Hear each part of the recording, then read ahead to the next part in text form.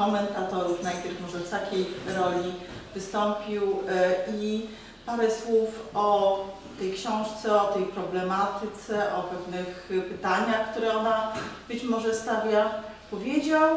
Później poprosilibyśmy autora, żeby, żeby do tych y, komentarzy, e, uwag, pytań się odniósł, a później także myślę będzie czas, jeśli Państwa zainteresują wątki, kwestie, żebyśmy y, dyskusję także e, otwarli.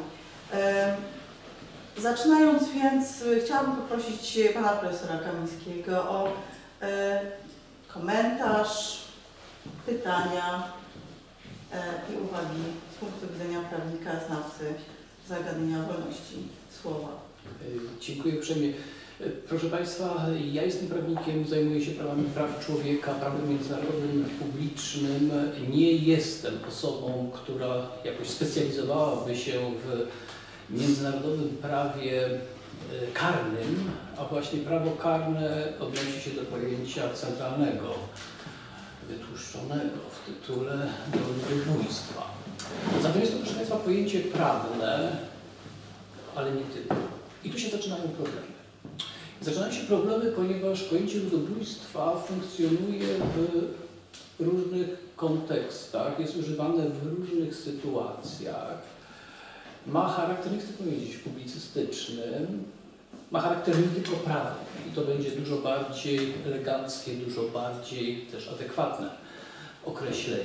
Natomiast jeżeli prawnik widzi pojęcie, nazwę ludobójstwa, to oczywiście umieszcza w swoim prawniczym kontekście. E, Więc pozwólcie Państwo, że ja parę uwag prawnika o książce pozwolę sobie powiedzieć. Mianowicie to pojęcie ludobójstwa, którym posługuje się autor, który jest socjologiem, nie jest pojęciem ściśle prawniczym. Ponieważ zbrodnia ludobójstwa jest zbrodnią, po pierwsze, stosunkowo nową, a więc istniały już inne zbrodnie, na kanwie których to pojęcie zostało ukute, natomiast jest pojęciem specyficznym. To jest pojęcie, które Państwo zapewne kojarzycie, że pojawiło się taka dobrą sprawę w roku 1944 za sprawą Rafała, Rafaela Lemkina, polskiego prawnika żydowskich korzeniach, żydowskiej narodowości.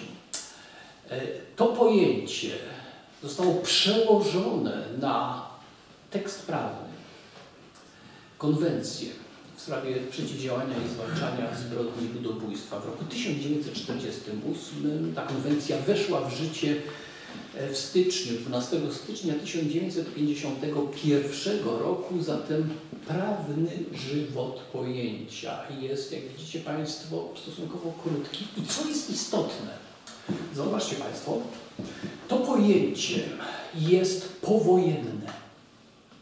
Ponieważ Rafał Lemkin w książce zawarł to pojęcie w roku 1944, ale to pojęcie nie istniało na poziomie tekstów prawnych, na poziomie konwencji międzynarodowych, na poziomie, jeżeli miałbym jeszcze posłużyć się bardziej adekwatnym pojęciem z punktu widzenia prawnika krajowego, kodeksu karnych.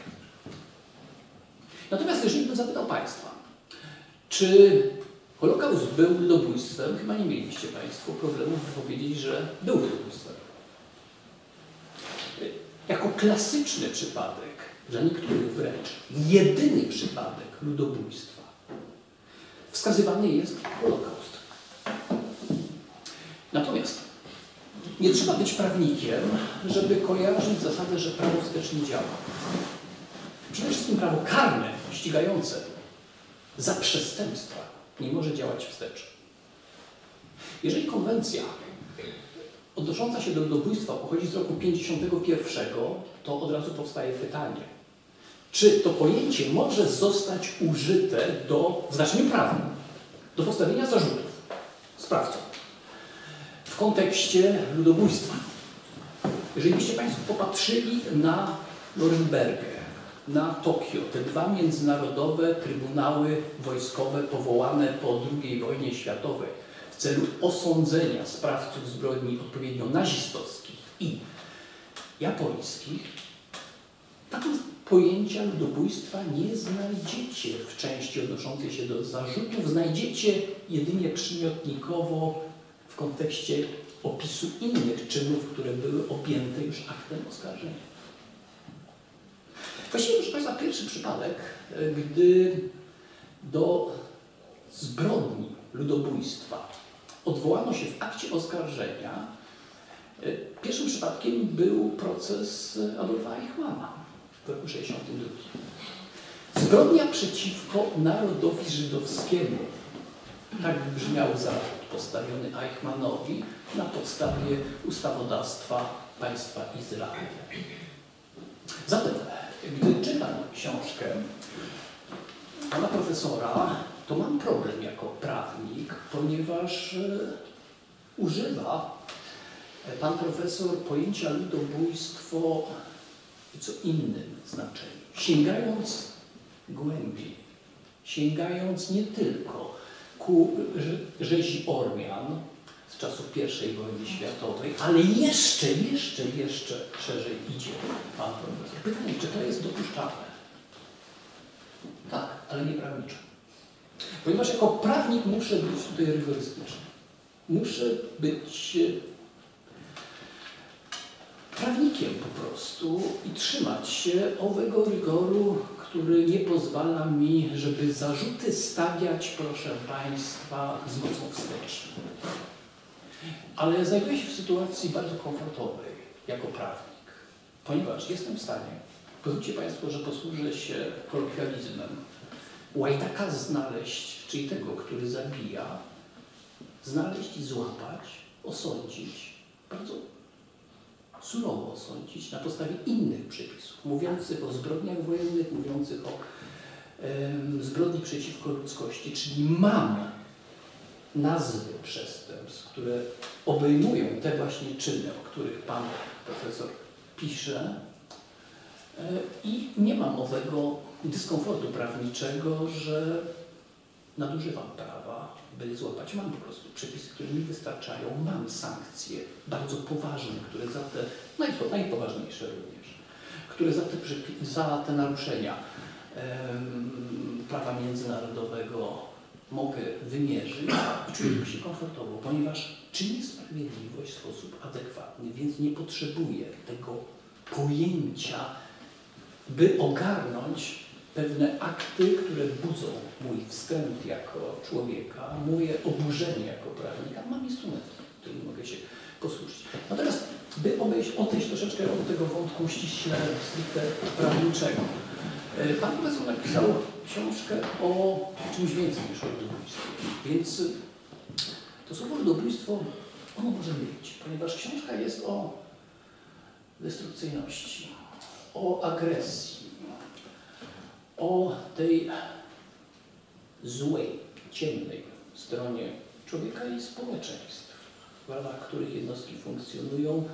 Próbował pan profesor zidentyfikować pewne mechanizmy prowadzące do tego, że ludzie, którzy jako jednostki zachowują się zasadniczo przyzwoicie.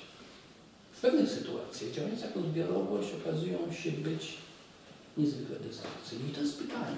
To jest pytanie, ile jest tego zła, tej ciemnej strony w naturze człowieka, na ile jest generowane przez pewien kontekst społeczny i właśnie obecność wraz z innymi jednostek powoduje, że ta skłonność do destrukcji ujawnia się i w sposób dramatyczny realizuje się.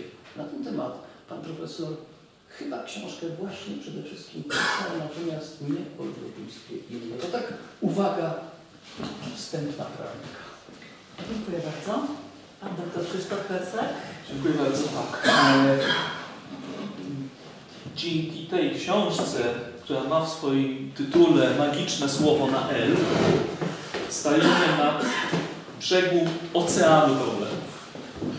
E, oceanu problemów. E, ja y, rzeczywiście historykiem, ale sprawy prawne są mi bliskie i muszę powiedzieć, że im więcej czytam o ludobójstwie, tym więcej mam wątpliwości co do potrzeby istnienia tego terminu, a, tej kategorii, tej etykiety, tej kwalifikacji.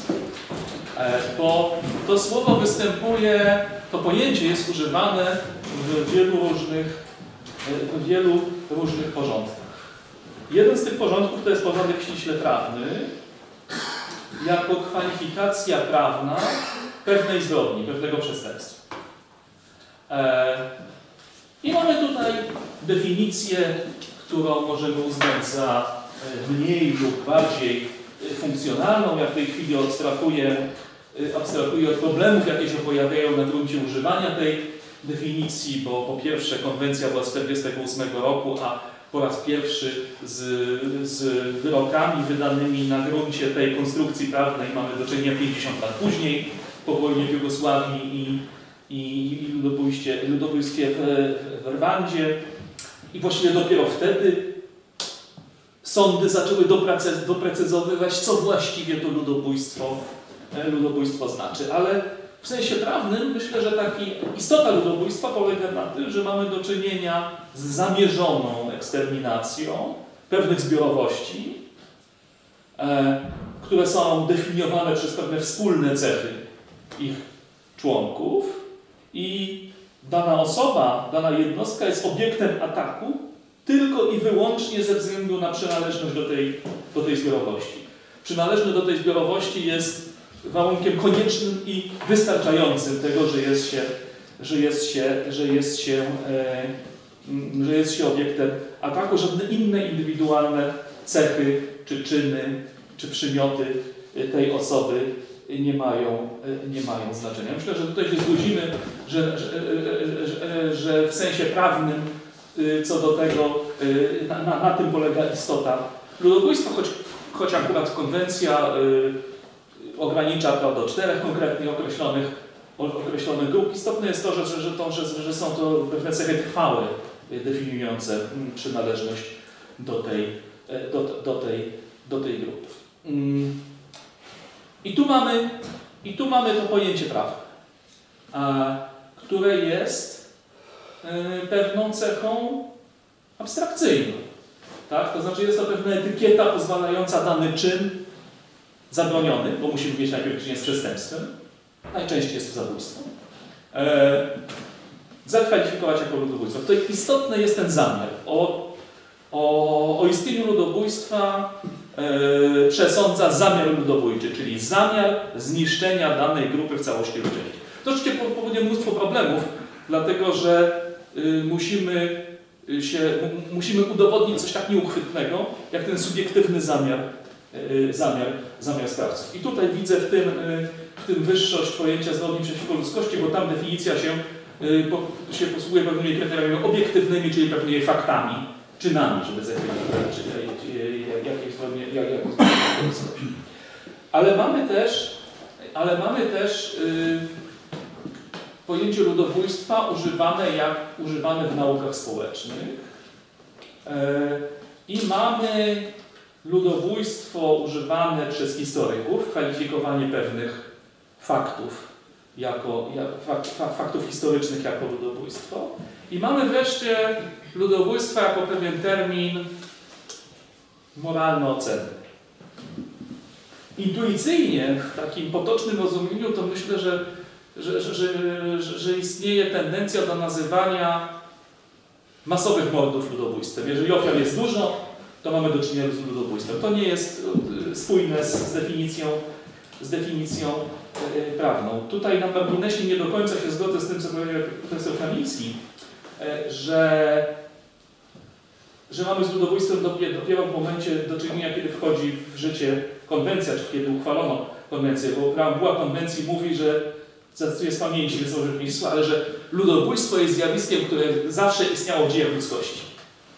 E, no i sprawem jest tak, że prawo się rozwija, prawo reaguje na pewne, na pewne, na pewne zjawiska i y, ta, ta, i ta, y, y, ten pomysł Lemkina, by się nie mm, on się rodził wcześniej, ale, ale jakby nie skrystalizowałby się w 1944 roku, gdyby nie druga wojna światowa i polityka, y, polityka nazistowskich Niemiec eksterminacyjna i tak dalej, i tak dalej. Więc to, to, że, to, to, że powstaje konwencja, ona jest reakcją na to, co się wydarzyło i próbą zakwalifikowania nowych faktów, y, nowych zjawisk, yy, zakwalifikowania sfery prawnej. Tak jak powiedzmy, yy, abstrahując już od tego, tak jak powiedzmy, nie wiem, pojawia się nowa sfera y, działania ludzkiego jak, jak, jak informatyka i pojawiają się w związku z tym definicje, de, definicje przestępstw związanych z przestępczością komputerową, które wcześniej nie istniały. No one są reakcją na to, że pojawiły się nowe, nowe, nowe, nowe zjawiska. Ale mm, na czym polegają moje wątpliwości? E, I to jest właściwie pytanie pod adresem naszego autora, e, e, którego chciałbym trochę pozaczepiać tutaj. Po co właściwie w naukach społecznych pojęcie ludobójstwa? Bo jeśli czytamy tę książkę, to cały czas widzimy problem, czy to historyka, czy to, yy, czy to, yy, czy to socjologa, w zakwalifikowaniu, czy dany masowy mord z przeszłości był ludobójstwem, czy nie, i gdzie leży ta granica i tak dalej.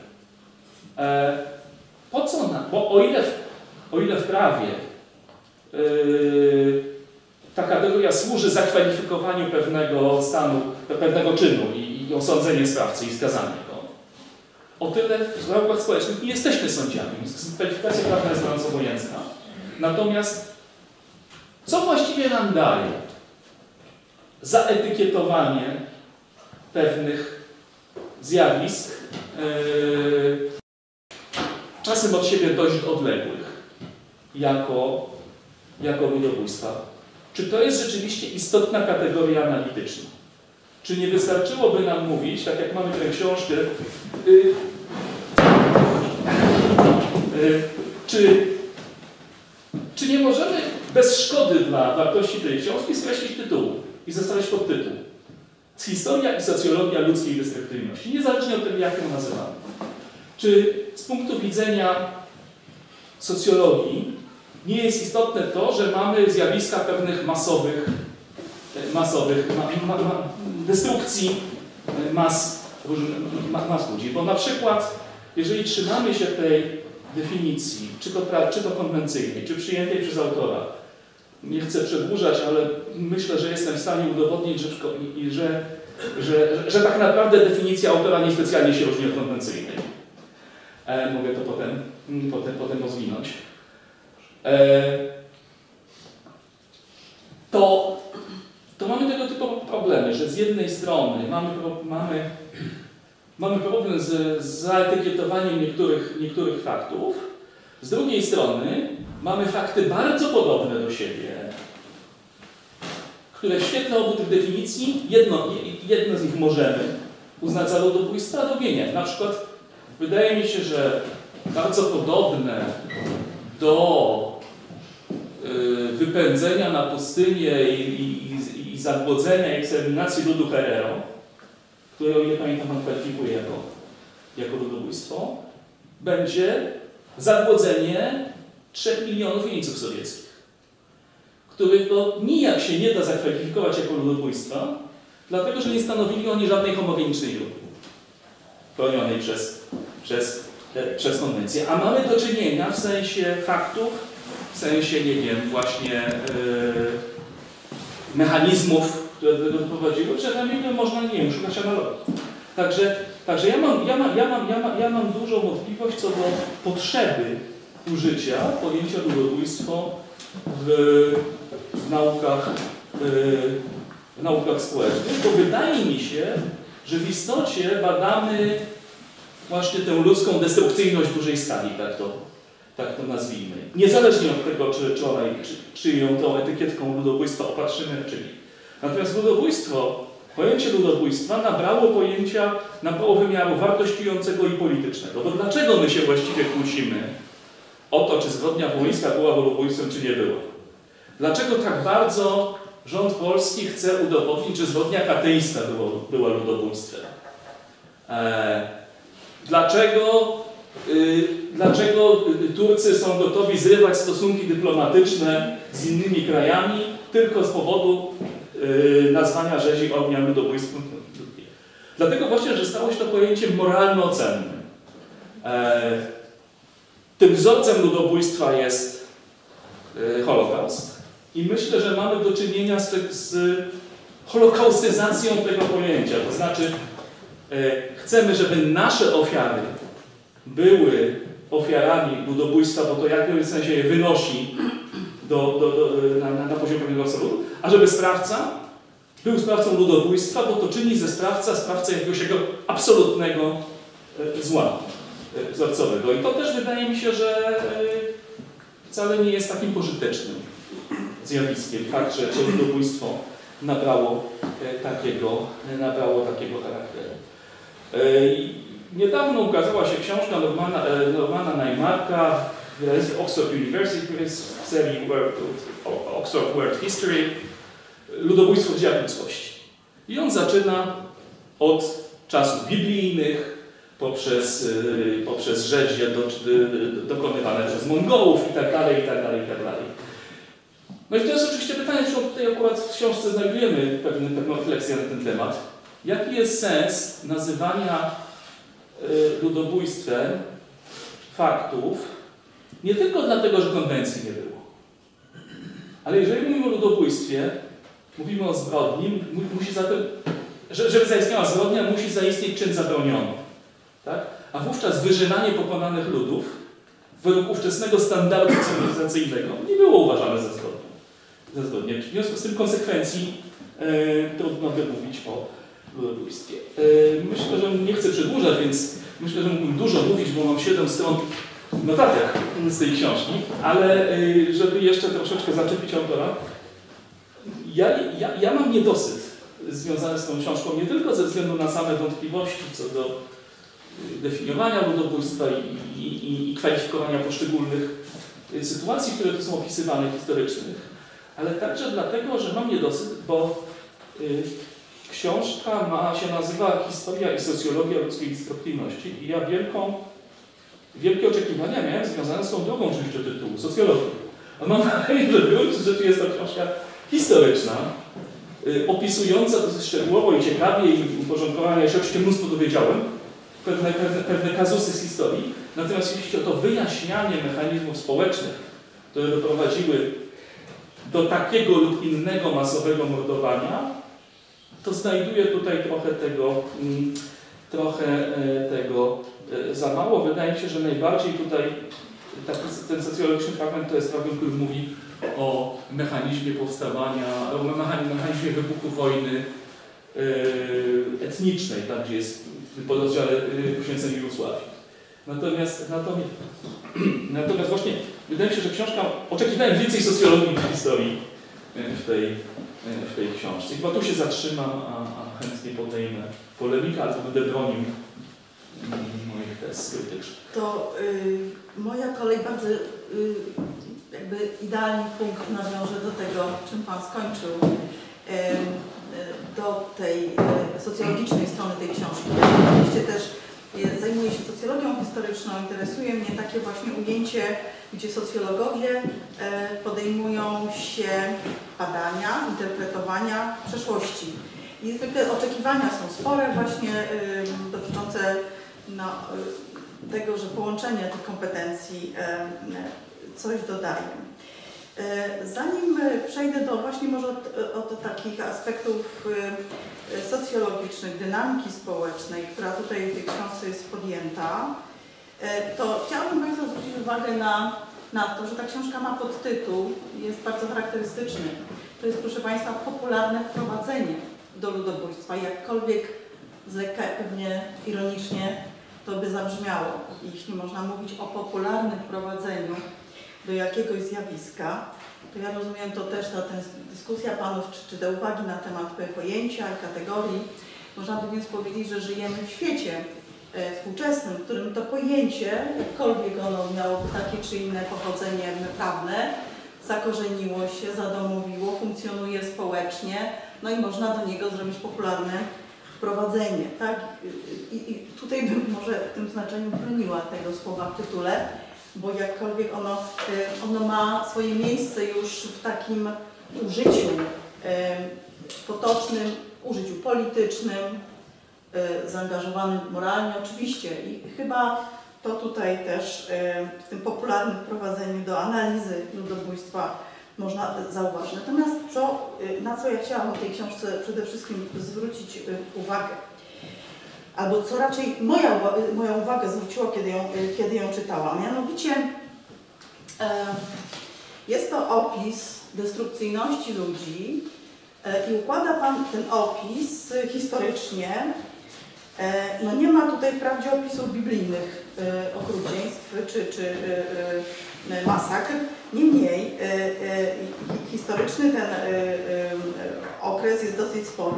Mimo to jednak, jeśli tak mogę powiedzieć z takim takiej dynamiki społecznej, mówimy tu raczej o epoce nowoczesnej. O nowoczesnym społeczeństwie i o przemianach nowoczesnych. Zastanowiło, czy zatrzymało moją uwagę akcent na y, myśli Norberta Eliasa. Przypomnę tylko krótko, Norbert Elias napisał swoją słynną książkę o procesie cywilizowania i wydał ją w sierpniu 1939 roku. Nie miał szczęścia, bo wydał ją nie tylko, że w Szwajcarii, to po niemiecku. Nie był to wtedy chyba najbardziej jakby chodliwy język.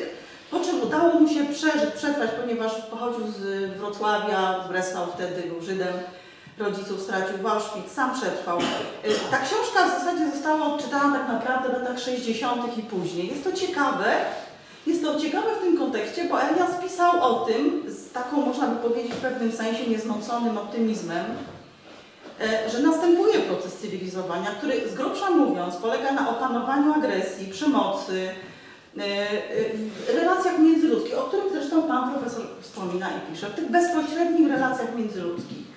No, kiedy patrzymy na ten proces cywilizowania i czytamy tą książkę, albo inaczej, kiedy Norbert Elias po prostu żył kilka lat po napisaniu przez siebie tej książki, to chyba to, o czym się dowiadywał, musiało troszeczkę nadwątlić jego y, przekonanie, zresztą nie tylko jego, tak? To doświadczenie II wojny światowej było tym, które wydało pewnie tę y, refleksję prawną na ten temat Lemkina i innych. A więc coś takiego się wydarzyło, kiedy mówimy o cywilizacji zachodniej, no, że nastąpił jakiś radykalny zwrot w tym procesie cywilizowania. I teraz przechodząc do tej książki, e, mam, e, może jeszcze nie przechodząc do książki, następnym w tym, w tym łańcuchu myśli, jeśli bym mogła tak powiedzieć, na, na temat relacji pomiędzy przemocą, człowiekiem i społeczeństwem jest, jak sądzę, Michel Foucault, e, który zwrócił naszą uwagę na nowoczesny charakter przemocy i destrukcyjności, która w koncepcji choćby biowładzy ma tą cechę, że coraz bardziej oddziela się od tego, o czym tak często barwnie pan y, Lech Niejakowski pisze, a więc o takich bardzo zaangażowanych y, aktach y, przemocy, okrucieństwa, a właściwie żyjemy w świecie, w którym przemoc nie znika, w której destrukcyjność nie, nie, nie, nie, nie, nie znika, ale w której rzeczywiście na co dzień jesteśmy raczej osobami łagodnymi, e, nie nosimy przy sobie broni, jesteśmy spacyfikowani i tym głównym pacyfikatorem, jeśli tak można powiedzieć, chyba się wszyscy zgodzą, jest państwo, jest instytucja państwa. A zatem proces no, cywilizowania z jednej strony zgodnie z Eliasem czyni z nas osoby e, mniej skory do emocji, zwłaszcza tych agresywnych, z drugiej jednak postęp technologii, technologii biowładzy, jak pisze Foucault, czy po y, rozwoju możliwości współczesnych państw jest taki, bo chyba w tym jest problem na przykład Holokaustu, że zabijanie tam było kompletnie oddzielone od tego, czego, o czym pisał Elias. To byli cywilizowani ludzie, którzy na co dzień nie pozwalali sobie na emocje, e, które by im się zerwały, że tak powiem, z, z uwięzi. Natomiast były to akty zaplanowanego, programowego, programowej destrukcyjności. Ja bym tutaj też widziała tą odpowiedź systemu prawnego, jeśli tak można powiedzieć, tą konieczność sformułowania prawa, czy, czy to w Norymberdze, czy jak Lenin trochę później, na opisanie pewnych praktyk, pewnej rzeczywistości. Nie wiem, jak to wygląda dzisiaj, czy systemy prawne jakby zmieniają się wraz z tym, jak rozwija się nasza zdolność, kiedy Habermas pisze o na przykład eugenice współczesnej, czyli tych wszystkich możliwościach dzisiaj, jakie cywilizacja technologiczna posiada, jeśli chodzi o zniszczenie się, e, ludzi nawzajem. e, e, Więc chciałabym zwrócić, e, wydaje mi się, że z takiej właśnie e, socjologicznego punktu widzenia, to tutaj jest ten punkt, o którym zresztą też Pan Profesor mówi, jak to jest możliwe, prawda, że to jest to odwieczne pytanie o mobilizację ludobójczą, o, o to, jak można e, e, ludzi do tego zmobilizować. I tutaj z punktu widzenia takiej socjologicznej analizy zapytałabym tak, jacy aktorzy uczestniczą w tych aktach i w jaki sposób są oni zmobilizowani lub raczej przeciwnie spacyfikowani, żeby nie przeszkadzać, żeby nie przeciwstawiać, inaczej mówiąc, jakie mechanizmy społeczne, współczesne społeczeństwa, współczesne państwo, ale także i korporacje, o których Pan ciekawie pisze, jako rzeczywiście e, być może kolejny poważny aktor w tych praktykach e, destrukcyjnych.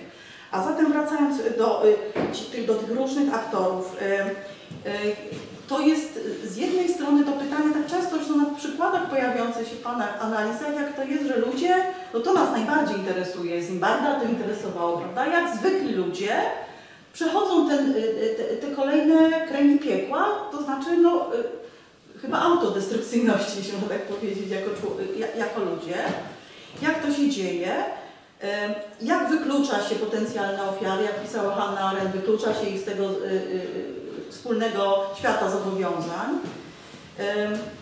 Jak to się dzieje, że jesteśmy biernymi uczestnikami? E, Wspomina też Pan w swojej książce o tym, że nie do końca jest jasne, czy rzeczywiście Niemcy tak zupełnie nie wiedzieli o tym, co dzieje się na przykład na wschodzie.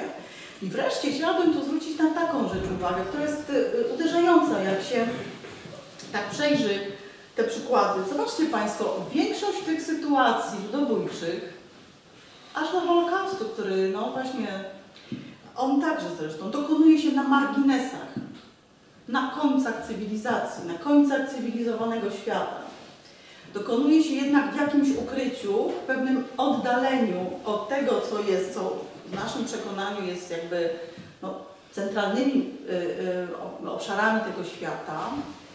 E, Ważne jest przy prowadzeniu ludobójstwa pewna forma, no właśnie, albo ukrycia, albo wycofania.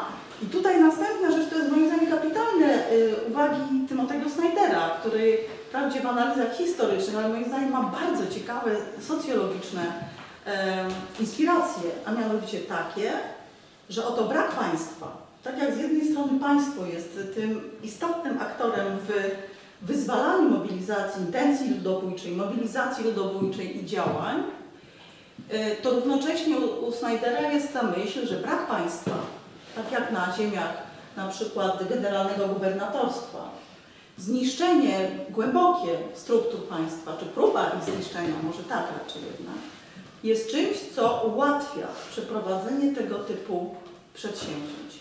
No i tutaj wydaje mi się, że to są takie tropy, które mi przyszły na myśl, czytając tą książkę, no właśnie socjologiczne, czy jakby wiążące się z, z wiedzą socjologiczną, bo tu właśnie czasami też wydawało mi się trochę brakować tego. No cóż, mogę powiedzieć znowu wracając, że jest to popularne wprowadzenie, więc może nie ma y, co tego oczekiwać. Niemniej y, potem sformułowało mi się y, pewne pytanie. Pytanie, nie wiem czy tylko do Pana, na pewno do Pana, a może też i w ogóle. Do wszystkich nas tutaj. Otóż opisujemy ludobójstwo. Opisujemy je językiem prawniczym, historycznym, socjologicznym, psychologicznym. Zimbardo przecież dlatego podjął ten eksperyment. On miał na myśli Oświęcim, Auschwitz. E, I robimy analizy. I w związku z tym, jak się żyje w świecie, w którym znamy już ludobójstwo jako zjawisko, jako, w którym y, znaturalizowaliśmy to zjawisko, unormalniliśmy, bo to, co robimy tu i to, co robi prawo i tak dalej, to w jakiś sposób unormalnia to. Wbudowany jest on w jakiś system naszej nowoczesności. To jest jakby uboczny skutek tego wszystkiego bardzo dobrych intencji Rafała Lemkina i niewątpliwie wszystkich innych. Ono jest jakimś elementem. To coś, co jest nieludzkie, zostało oswojone w naszym racjonalnym, nowoczesnym społeczeństwie. To takie byłoby moje pytanie. E, A teraz chyba czas na to, żeby, żeby autor wreszcie miał e, e, okazję e, ustosunkować się, powiedzieć, co sądzi o naszych komentarzach. Dziękuję bardzo za e, te głosy. Dziękuję Państwu za przybycie. Że dzisiaj nie sprzyja. Zresztą e, Panom o tyle jestem wdzięczny, że przyjechali w ogóle. Zresztą jechaliśmy tym samym pociągiem, ale W innych e, wagonach. nie z Panem Profesorem, ale w tym samym przedziale, jeżeli rozpoznaliśmy. Czy- Ja czytałem em, czasopismo, Pan Profesor oceniał wnioski NCN-owskie, podejrzewam z okładki. E, No więc dopiero tu się spotkaliśmy. Ludobójstwo zbliży, jak Państwo widzą. Kolejnym się bardzo dużo wątków pojawiło, e, więc przepraszam, że trochę chaotycznie, ale myślę, że to nasze spotkanie też ma na celu, żeby właśnie po tym oceanie popłynąć czasami na tą e, sztuczną wyspę z, plastikowych śmieci też wpaść. E, Taka tematyka. Przede wszystkim chciałbym zaznaczyć, że to jest, dziękuję, że Pani Profesor to podkreślała, popularne prowadzenie. To jest książka popularna naukowa. Ja w e, 2013, o ile pamiętam, roku opublikowałem książkę, o której e, Pan był łaskaw wspomnieć, Rozkosz zemsty, e, socjologia historyczna mobilizacji ludobójczej. To jest właśnie ciężka monografia, gdzie między innymi próbuję jakiś autorski model mobilizacji ludobójczej zaproponować, a później e, zastosować go do analizy przypadku, kiedy do ludobójstwa nie doszło, choć wiele czynników zwykle w literaturze przywoływanych wystąpiło. Mianowicie e, staram się odpowiedzieć na pytanie, dlaczego nie doszło do ludobójstwa Niemców. W Polsce powojennej. Tak, jest, no jeszcze w czasie wojny, prawda, Tak. to jest to tam od 44 i później. E, Także to, że ja postanowiłem napisać tę książkę, to e, w pewnej mierze też odpowiedź e, na to, co widziałem i co widzę. To znaczy, że mimo iż wszyscy chcą o tym dyskutować, wszyscy to pojęcie znają, używają. Jak na festiwalach nauki miałem jakieś wykłady na temat ludobójczych, krwawych tematów, sala była pełna. Z fakultetami nie mam problemu. Od radości, masakry, po rozkosz, zemsty zawsze studenci się zjawiają. E, No a brakowało tego, co tu jest kluczowe, a w języku angielskim jest mnóstwo takich popularnych leksykonów, encyklopedii, e, wprowadzeń, właśnie takich ba- bardzo popularnych książek. W Polsce tego nie było. Mimo, że wszyscy o ludobójstwie dyskutują, politycy, naukowcy, e, działacze organizacji pozarządowych, to nie było takiego popularnego wprowadzenia. No i postanowiłem to w końcu zrobić, e, choć e, no, miałem pełną świadomość tego, co mnie czeka. Znaczy nikt nie jest specjalistą od wszystkich tych tematów. Bo jak się już Państwo zorientowali, e, używając tego terminu ludobójstwo, my uruchamiamy i dyskurs prawny, i e, dyskurs studiów nad ludobójstwem. To jest takie transdyscyplinarne pole badawcze, w którym także staram się e, pisać, a tutaj są nie tylko socjologowie, ale politologowie, e, analitycy stosunków międzynarodowych, kulturoznawcy i wielu, wielu, wielu innych, psychologowie oczywiście także. E, No wreszcie jest to, e, i to w pewnej mierze przekleństwo tej naszej dyskusji, no ale także sprawa, że książka się sprzedaje. Na razie szef wydawnictwa Iskry na mnie nie narzeka że to jest niebywały sukces tego neologizmu, który stworzył Rafał Lemkin. E, To znaczy wszyscy ten znają, wszyscy go używają, wszyscy go używają w bardzo różnych e, kontekstach, e, czasami z dobrymi intencjami, na przykład broniąc praw zwierząt. Porównywają masowe mordowanie zwierząt do obozów koncentracyjnych i ludobójstwa. Jest taka bardzo zła źródła Wieczna Treblinka, e, no, gdzie wręcz autor stara się dowieść, to mu się nie udaje, że to masowy chów i masowy ubój zwierząt był jednym z źródeł Holokaustu. No w każdym razie, pomijając to wszystko, naprawdę trudno znaleźć e, konteksty, gdzie się tego terminu nie używa. E, No najbardziej kuriozalny, acz u mnie termin ludobójstwo pada, to Holokaust Kur- Kurczaków. Holokaust Kurczaków taki znalazłem. Nie chodziło o poniżenie e, czy pomniejszenie ofiar żydowskich, ale właśnie o to zaangażowanie tego kapitału symbolicznego w walce o prawa zwierząt. Więc w sumie wszyscy jesteśmy z Lemkina w tym sensie, że ten jego neologizm, który rzeczywiście upublicznił w 1944 roku, odniósł tak niebywały, tak niebywały sukces. E, Ale po pierwsze, sam Lemkin e, zajmował się tym znacznie wcześniej. W 1933 roku na konferencji w Madrycie, o ile pamiętam, pan profesor nie poprawi, e, on no, w pewnej mierze mu to nie uniemożliwiono, w pewnej mierze była to sprawa kontekstu, ale starał się wprowadzić właśnie do prawa międzynarodowego karnego nową specyficzną zbrodnię. Nazwał ją wówczas zbrodnią barbarzyństwa i ona, upraszczając, była zbrodnią ludobójstwa, choć nazywała się inaczej i choć no, nie wszystkie e, pomysły wykorzystał Lemkin, które później e, sukcesywnie wprowadzał, bo to nie tylko w tej swojej słynnej książce 44, ale i później. E, I no, e, Lemkin, jak Państwo wiedzą, przed II wojną światową już dostrzegał brak takiej e, zbrodni, która pozwala karać, no, w jego zdaniu wszystkim przywódców. Tak? Jeżeli zwykły człowiek zabije, no to jest zbrodniarzem, jest skazywany za morderstwo. A co z przywódcami narodów? Co na przykład z liderami młodoturków, którzy skazali cały naród ormiański, Imperium Osmańskim na eksterminację? No do dzisiaj Ankara się tego wypiera. Jest chyba najbardziej konsekwentnym i systemowym negacjonizmem, jaki istnieje, e, bo jest, za tym stoi państwo tureckie. E, I to mówię bez e, tutaj ulgowej, to mogę bronić. No, to, wszystko, to wszystko sprawiło, że ten pomysł Lemkina był znacznie wcześniejszy. On w gruncie rzeczy jest także ojcem, nie tylko ojcem konwencji nazetowskiej w sprawie zapobiegania i karania zbrodni ludo- zbrodni ludobójstwa, ale także studiów nad ludobójstwem, bo ci Mongołowie, którzy tutaj trochę ironicznie się pojawili, no nimi się także, najazdami mongolskimi zajmował sam Lemkin, między innymi w Szwecji, gdy czekał na wyprawę do Stanów Zjednoczonych. Zresztą o jego geniuszu świadczy to, że się raz, dwa nauczył szwedzkiego tak, że był w stanie wykładać w tym języku szwedzkim, no pozazdrościć. Więc on bardzo szeroko traktował ludobójstwo. Gdy patrzymy na definicję lemkinowską, to ona jest nie tylko znacznie szersza niż ta definicja, która się ostatecznie znalazła w e, konwencji mazetowskiej, ale ujmuje takie modne dzisiaj kwestie, jak na przykład ludobójstwo kulturowe. O tym pisał Lemkin, czyli o niszczeniu grup jako grup bez mordowania ludzi poprzez e, zakaz używania ojczystego języka, niszczenie znaków pamięci, nisz- niszczenie dziedzictwa kulturowego itd. itd. Więc w tym sensie i studia nad ludobójstwem, i to szerokie potraktowanie zagadnienia, e, to wszystko z Lemkina. Później e, przyszli e, politycy, no i oni zaczęli to przykra- przykrawać na potrzeby e, międzynarodowego konsensusu. No, no przecież wszyscy doskonale wiemy, że konwencja nazetowska była wynikiem targu. Nie tylko targu prawników, którzy no, różne tradycje były uchraniane, spory były ogromne, ale wszystkim polityków, upraszczając Wschód nie chciał tam grup politycznych, stąd mamy tylko narodowe, etniczne, e, rasowe, pojawiają się rasowe i religijne, a nie ma politycznych, no ci kułacy, że powiem to słowo. E, Z drugiej strony e, mocarstwa zachodnie, kolonialne, nie chciały ludobójstwa kulturowego. Stąd w tej, na tej długiej liście aktów ludobójstwa, gdzie nawet e, są takie akty jak odbieranie dzieci, prawda? czyli no, nie chodzi tylko o mordowanie. Tam nie ma ludobójstwa kulturowego.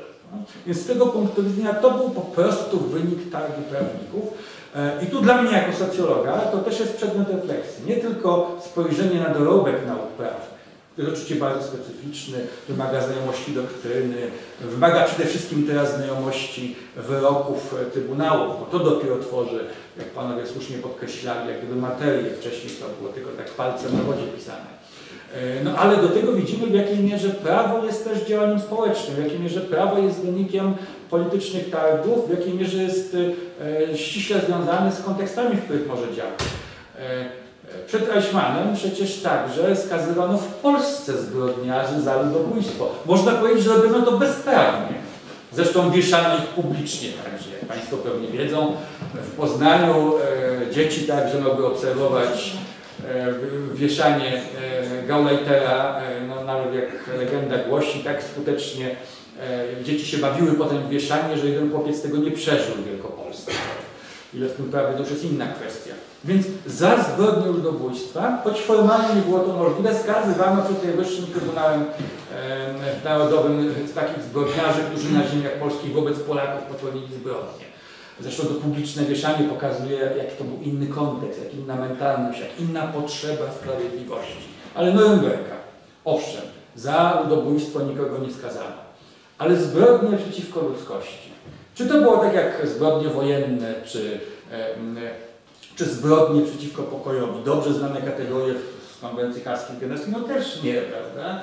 Więc z tego punktu widzenia widzimy, ile w tym wszystkim, nawet trzymając się tylko tej działki prawnej, o której panowie wszystkim byli łaskawi mówić, e, jest spraw nieprecyzyjnych. No a patrząc już na wyroki Trybunałów Karnych, pomijam, że przez dziesięciolecia, prawda, o czym panowie tu mówili, jakoś mocarstwa się nie kwapiły do tego, żeby skazywać no, ewidentnych zbrodniarzy.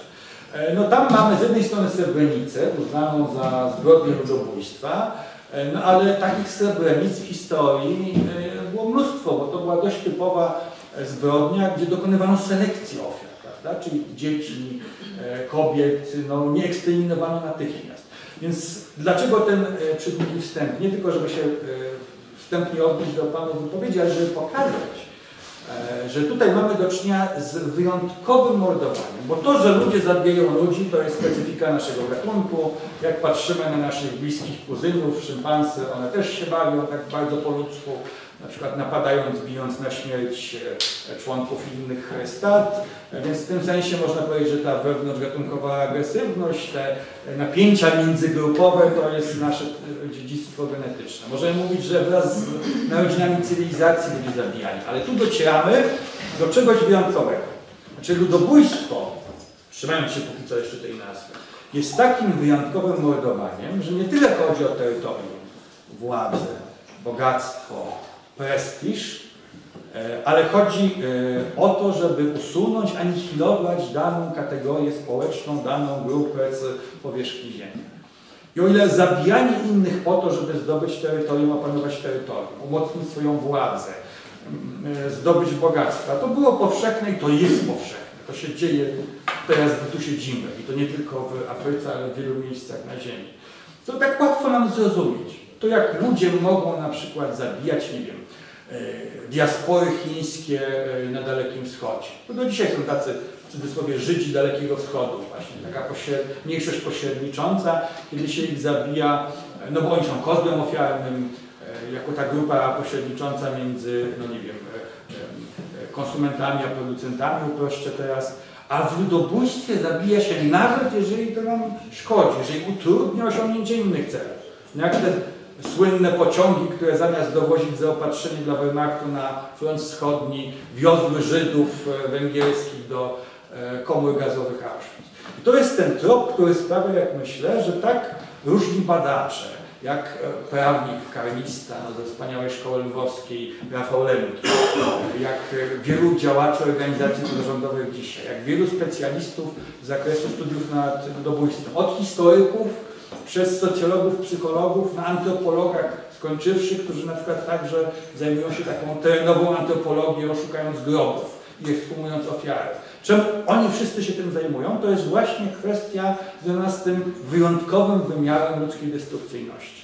I w tym sensie ja oczywiście w tej popularnej książce zajmowałem się nie ludobójstwem w rozumieniu prawnym, e, choć wspominam o tych kwestiach prawnych, ale tym właśnie, co w tym potocznym ujęciu jest kluczowe.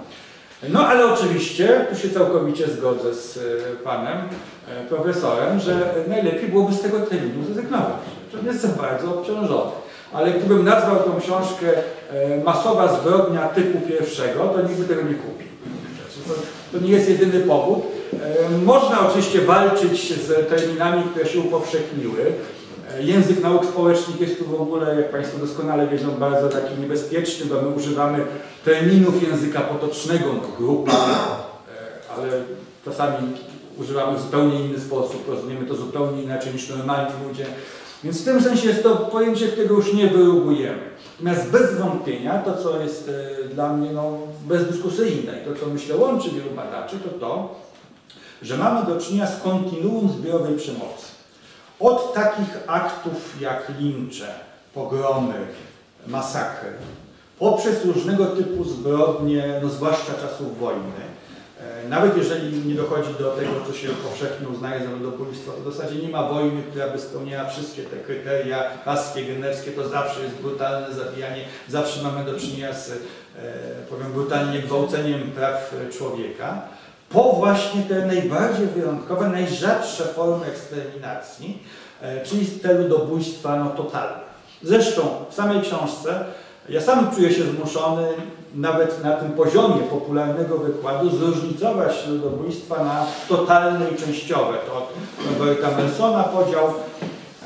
Te ludobójstwa totalne, tu jest szeroki konsensus, to przede wszystkim no właśnie eksterminacja Ormian w Imperium Osmańskim 1915-16 i później, gdzie po 22 rok jest przemoc wobec Ormian, e, ludobójstwo wobec Żydów i e, Romów e, w, w czasie II wojny światowej, to nie tylko Niemcy, ale przecież Austriacy, Chorwaci e, i wielu, wielu innych, Rumunii, e, dalej można by wymieniać. No, e, czy właśnie wreszcie ludobójstwo Tutsi i Tła w Rwandzie w 1994 roku. Tu jest szeroki konsensus i to naj, nam tą definicję, naj, naj, najwęższą definicję ludobójstwa totalnego spełnia. No, ale gdzieś pomiędzy mamy coś, co no, trudno nam do końca uzasadnić, że jest właśnie wyjątkową zbrodnią. prawda? Tu się trzeba już bardzo postarać. E, ja na przykład tutaj wprowadzam ludobójstwo częściowe Słowian, używając takiego dziwnego określenia, e, no właśnie, żeby ująć na przykład to, o czym Pan był łaskaw wspomniał. Prawda? 3 miliony żołnierzy Armii Czerwonej celowo zagłodzonych, z radością zagłodzonych w tych no, formalnie obozach niemieckich, prawda? mimo że narodowości tam były różne i tak dalej, i tak. Ale tutaj docieramy do niezwykle ważnej kwestii. Nie ma się co trzymać e, jakichś zewnętrznych e, kategoryzacji, takich nie wiem, tradycji dowodzenia, czy ktoś jest członkiem grupy, czy nie, e, tradycji religijnych, e, tradycji pewnej społeczności, bo tak naprawdę to jest absolutnie kluczowe. To sprawcy definiują, kto jest ofiarą. Nie tylko grupę jako grupę, kategorię społeczną, ale także e, decydują, że ty jesteś e, członkiem tej grupy i musimy cię eksterminować. Ale co ważniejsze, to e, jest definiowane przez sprawców, ale jest zarazem naturalizowane. To znaczy ta grupa, ta kategoria wygenerowana, stworzona w bardzo często konfliktowym procesie społecznym jest postrzegana przez sprawców e, jako e, tak no, substancjalnie odrębna, w sposób istotny różniąca się od innych lu- ludzi, wręcz skażona właśnie tą swoją naturą. No, żeby podać prosty przykład, można powiedzieć, no Żydzi to oczywiste, kto był Żydem. Absolutnie nie. Dobrze Państwo wiedzą, że to w zasadzie dopiero ustawy, tak zwane ustawy norymberskie zdefiniowały i że ta definicja Żyda, no, z nią się nie godziło wielu e, nazistów, którzy mieli swoją wizję, a co więcej wielu prawicowych radykałów e, zapatrzonych w Hitlera nagle się okazało, że są no, przynajmniej muślimami. E, I z tym się zmagam i całkowicie bym poszedł tym tropem.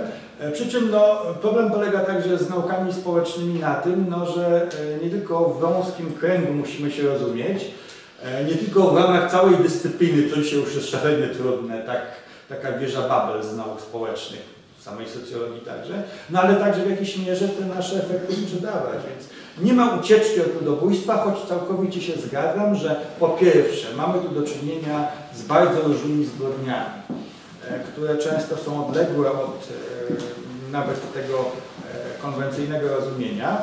Po drugie mamy tu do czynienia z kontinuum form zbiorowej przemocy. I gdzieś tam e, u końca jest to ludobójstwo totalne, można sobie wyobrazić jeszcze bardziej radykalną anihilację ofiar, ale przejścia są płynne i nie ma czegoś takiego jak po prostu zabijanie e, kategorii społecznych. To się dzieje w różnych okresach, w różnych kontekstach. Inaczej zabijały e, Żydów Einsatzgruppen na froncie wschodnim, inaczej zabijano już po e, stworzeniu obozów e, zagłady, inaczej to było w Treblince, inaczej to było e, w, Chełmie i tak dalej, i tak dalej. Więc z tego punktu widzenia mamy do czynienia z niezwykle bogatą e, rzeczywistością, no ale właśnie jednak to, co mnie jako badacza ludobójstwa interesuje, myślę tych, którzy się studia nad ludobójstwem angażują, to to, to właśnie wyjątkowe zabijanie ludzi, żeby usunąć daną kategorię z powierzchni ziemi, jako zagrażającą nam, jako e, skażoną moralnie, jako e, e, obciążoną przeszłymi zbrodniami, nawet jeżeli to skutkuje licznymi kosztami. No tak, ale to tak ładnie powiedzieć na tym poziomie ogólności, a teraz trzeba się wybawić socjologa i pokazywać, jak to się dzieje, no że my na przykład tutaj bylibyśmy gotowi zabijać. Znaczy, jestem pewien, że nikt z nas by tutaj nie zabijał, no ale tak statystycznie, gdyby takie e, agregaty wziąć, to zawsze ktoś tam patrząc na historię, kto nie miał żadnej wcześniej nie wiem, żadnej historii kryminalnych doświadczeń, zaburzeń psychicznych włączył się. Ludobójstwo, i to jest też pasjonujące socjologiczne, jest em, takim totalnym projektem społecznym, który sprawia, że nigdy nie wystarczy radykałów, nigdy nie wystarczy sadystów, nigdy nie wystarczy socjopatów i psychopatów. E, I to, co jest interesujące, to właśnie to, jak postępuje ta mobilizacja e, ludobójcza. Jej zawsze towarzyszą różne takie nurty wsteczne, demobilizacji ludobójczej. I tak się dzieje, że w pewnych okresach, w pewnych miejscach widzieliśmy bardzo zaawansowaną mobilizację ludobójczą, na przykład wobec Niemców, e, nie wiem, tam pod koniec II wojny światowej, prawda, no przynajmniej od 1944, ale jakieś były procesy, które demobilizowały. Nie tylko państwa urządzały ludobójstwa. No prosty przykład, e, Kongo, prywatna, e, prywatne państwo króla Belgów Leopolda II, później kolonia bel- belgijska, gdzie nawet jeżeli oficerowie belgijscy służyli w tej formacji porządkowej, to oni brali urlopy, żeby wyjechać, prawda? No a tam, jak się szacuje, 10 milionów w tym krótkim okresie Kongijczyków, nie tylko bezpośrednio zamordowanych, ale także w inny sposób uśmierconych. E, No czy ten przykład, który tu padł, e, dzisiejsza Namibia, tak, czyli e, cesarska kolonia Afryka Południowo-Zachodnia, e, gdzie Niemcy, można powiedzieć, dobrze zaczęli wiek XX i eksterminowali, acz to ludobójstwo częściowe, czyli nie takie pełne jak te inne, e, dwa ludy, Herero i Namak, to jednak wcześniej się zbuntowało, czyli zaczyna się jak typowe topienie we krwi buntu e, no, dyskryminowanej, gwałconej, ograbianej, zabijanej ludności, a przekształciło się w no, ewidentną eksterminację, gdzie e, przywódca, dowódca korpusu ekspedycyjnego cesarskich Niemiec, von Trotha, no po prostu taką gebelsowską mowę nienawiści uprawiał. E, I z tego punktu widzenia, no tu jest w tej książce cały rozdział poświęcony mobilizacji ludobójczej. E, Bałem się więcej, zresztą przepraszam czytelników we wstępie, że tam może być najciężej, e, bo niestety tutaj musimy uruchomić e, wiele różnych teorii, ponieważ proszę zwrócić uwagę, że zabijanie, ludobójstwo to też jest pewna forma działania społecznego, a w związku z tym pewną teorię działania trzeba przyjąć, jakąś tradycję, nią się posługiwać, żeby wyjaśnić jak to się dzieje, że przede wszystkim ci normalni ludzie stają się ludobójcami. E, Ja to próbuję tutaj robić, no między innymi piszę o tej normalnej nienormalności, czyli to w jakiej mierze e, procesy, które na co dzień prowadzą do reprodukcji państw narodowych, do reprodukcji narodów jako wspólnot wyobrażonych, w tych specyficznych okresach e, mogą zamienić dobrych obywateli w ludobójców, nawet jeżeli nie tych na froncie, nie pierwszego planu, to gdzieś tam drugiego planu.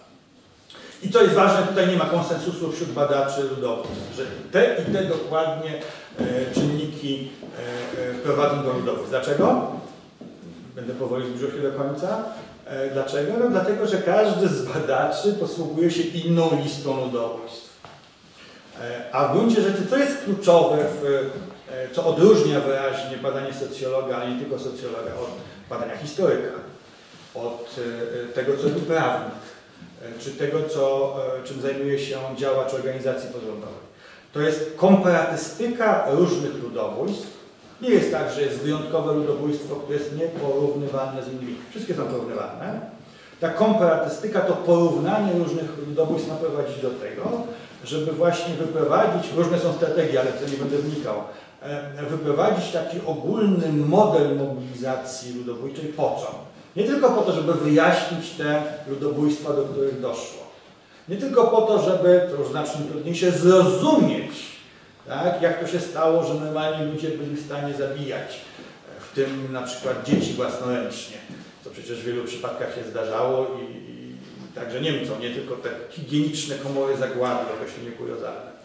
Ale co najważniejsze, przewidywać na podstawie tego modelu e, rozwój wypadków w różnych częściach świata. To znaczy, to jest ten kontekst e, związany ściśle ze stosowaniem tego modelu, na przykład do e, próby odpowiedzi na pytania, czy w Republice Środkowoafrykańskiej mamy do czynienia z mobilizacją ludobójczą. Tak? I tak dalej, i tak dalej. E, Proszę zwrócić uwagę, to jest ciekawe. Birma, na pewno Państwo o Rohingyach słyszeli, bo to dość nagłośniony teraz temat. Będę ukreślał, używał tych nazw kraju i, i takiej wymowy tej muzułmańskiej mniejszości. W zasadzie wielu badaczy ludobójstw od początku wskazywało, że to nie było ludobójstwo. Dlaczego? E, Upraszczając, zaminowali granice w momencie, kiedy już tych Rohingjów wypędzili do Pakistanu. Oczywiście były tam masakry, gwałty, tortury, to bez wątpienia. Tak? E, A, a upraszczając, gdyby chcieli popełnić ludobójstwo, to by na te pola minowe ich zapędzili.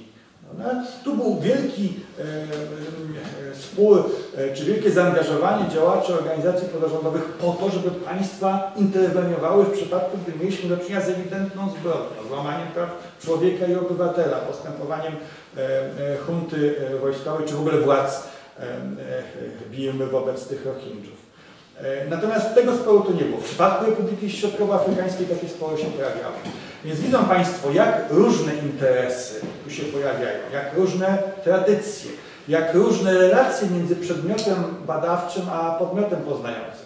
I e, na ten temat, jak Państwo pewnie świetnie wiedzą, są grube tomy, e, opracowania, opracowania e, przekrojowe, case study. To jest przy takim zarysowaniu temat niewyczerpany. E, Stąd ta moja książka była bardzo, jest bardzo taką mało ambitną próbą w tym sensie, tak? popularnego wprowadzenia, żeby każdy mógł mniej więcej zorientować się w różnych kontekstach. Ale bez wątpienia tu się zgodzę, e, wkraczamy na niezwykle grząski nurt i z punktu widzenia moich e, badań bez wątpienia interesujące byłoby przede wszystkim skupienie się na różnych formach zbiorowej przemocy, często bez tego obciążenia związanego z tym pojęciem, które pewnie dzisiaj przy takiej publicznej debacie osób z różnych specjalności bardziej utrudnia nam porozumienie, e, niż ułatwiałoby na przykład wyróżnienie takich, takiej listy case'ów, co do których byśmy się zgodzili, że bez wątpienia są e, ludobójstwem. Dziękuję bardzo. Widzą Państwo, że e, e, temat jest taki wielo bardzo wątkowy. E, ja, ja sama już za, za, zapisałam sobie parę pytań, ale spodziewam się, że pomimo, że to jest bardzo ciężka materia, raczej przygnębiająca, to pytania Państwa czy komentarze to jest ten moment. Bardzo proszę. Grzegorz Jantusz, Zakład Praw Człowieka UNCS. Ja jestem prawnikiem, politologiem, więc słuchając tych, tej dyskusji, oczywiście pewne wątki y, są takie, które y, no, na pewno wzbudzają nie tylko dyskusję, ale też ciąg przemyśleń, bo rzeczywiście, znaczy książka się bardzo pokazała, chociaż dla tych, którzy by ją przeczytać, naprawdę nie przeczytają, to nie będzie żadnych wątpliwości. Politycy niczego nie rozumieją, e, ci spod znaku szczęścia e, też e, tego na pewno nie przeczytają.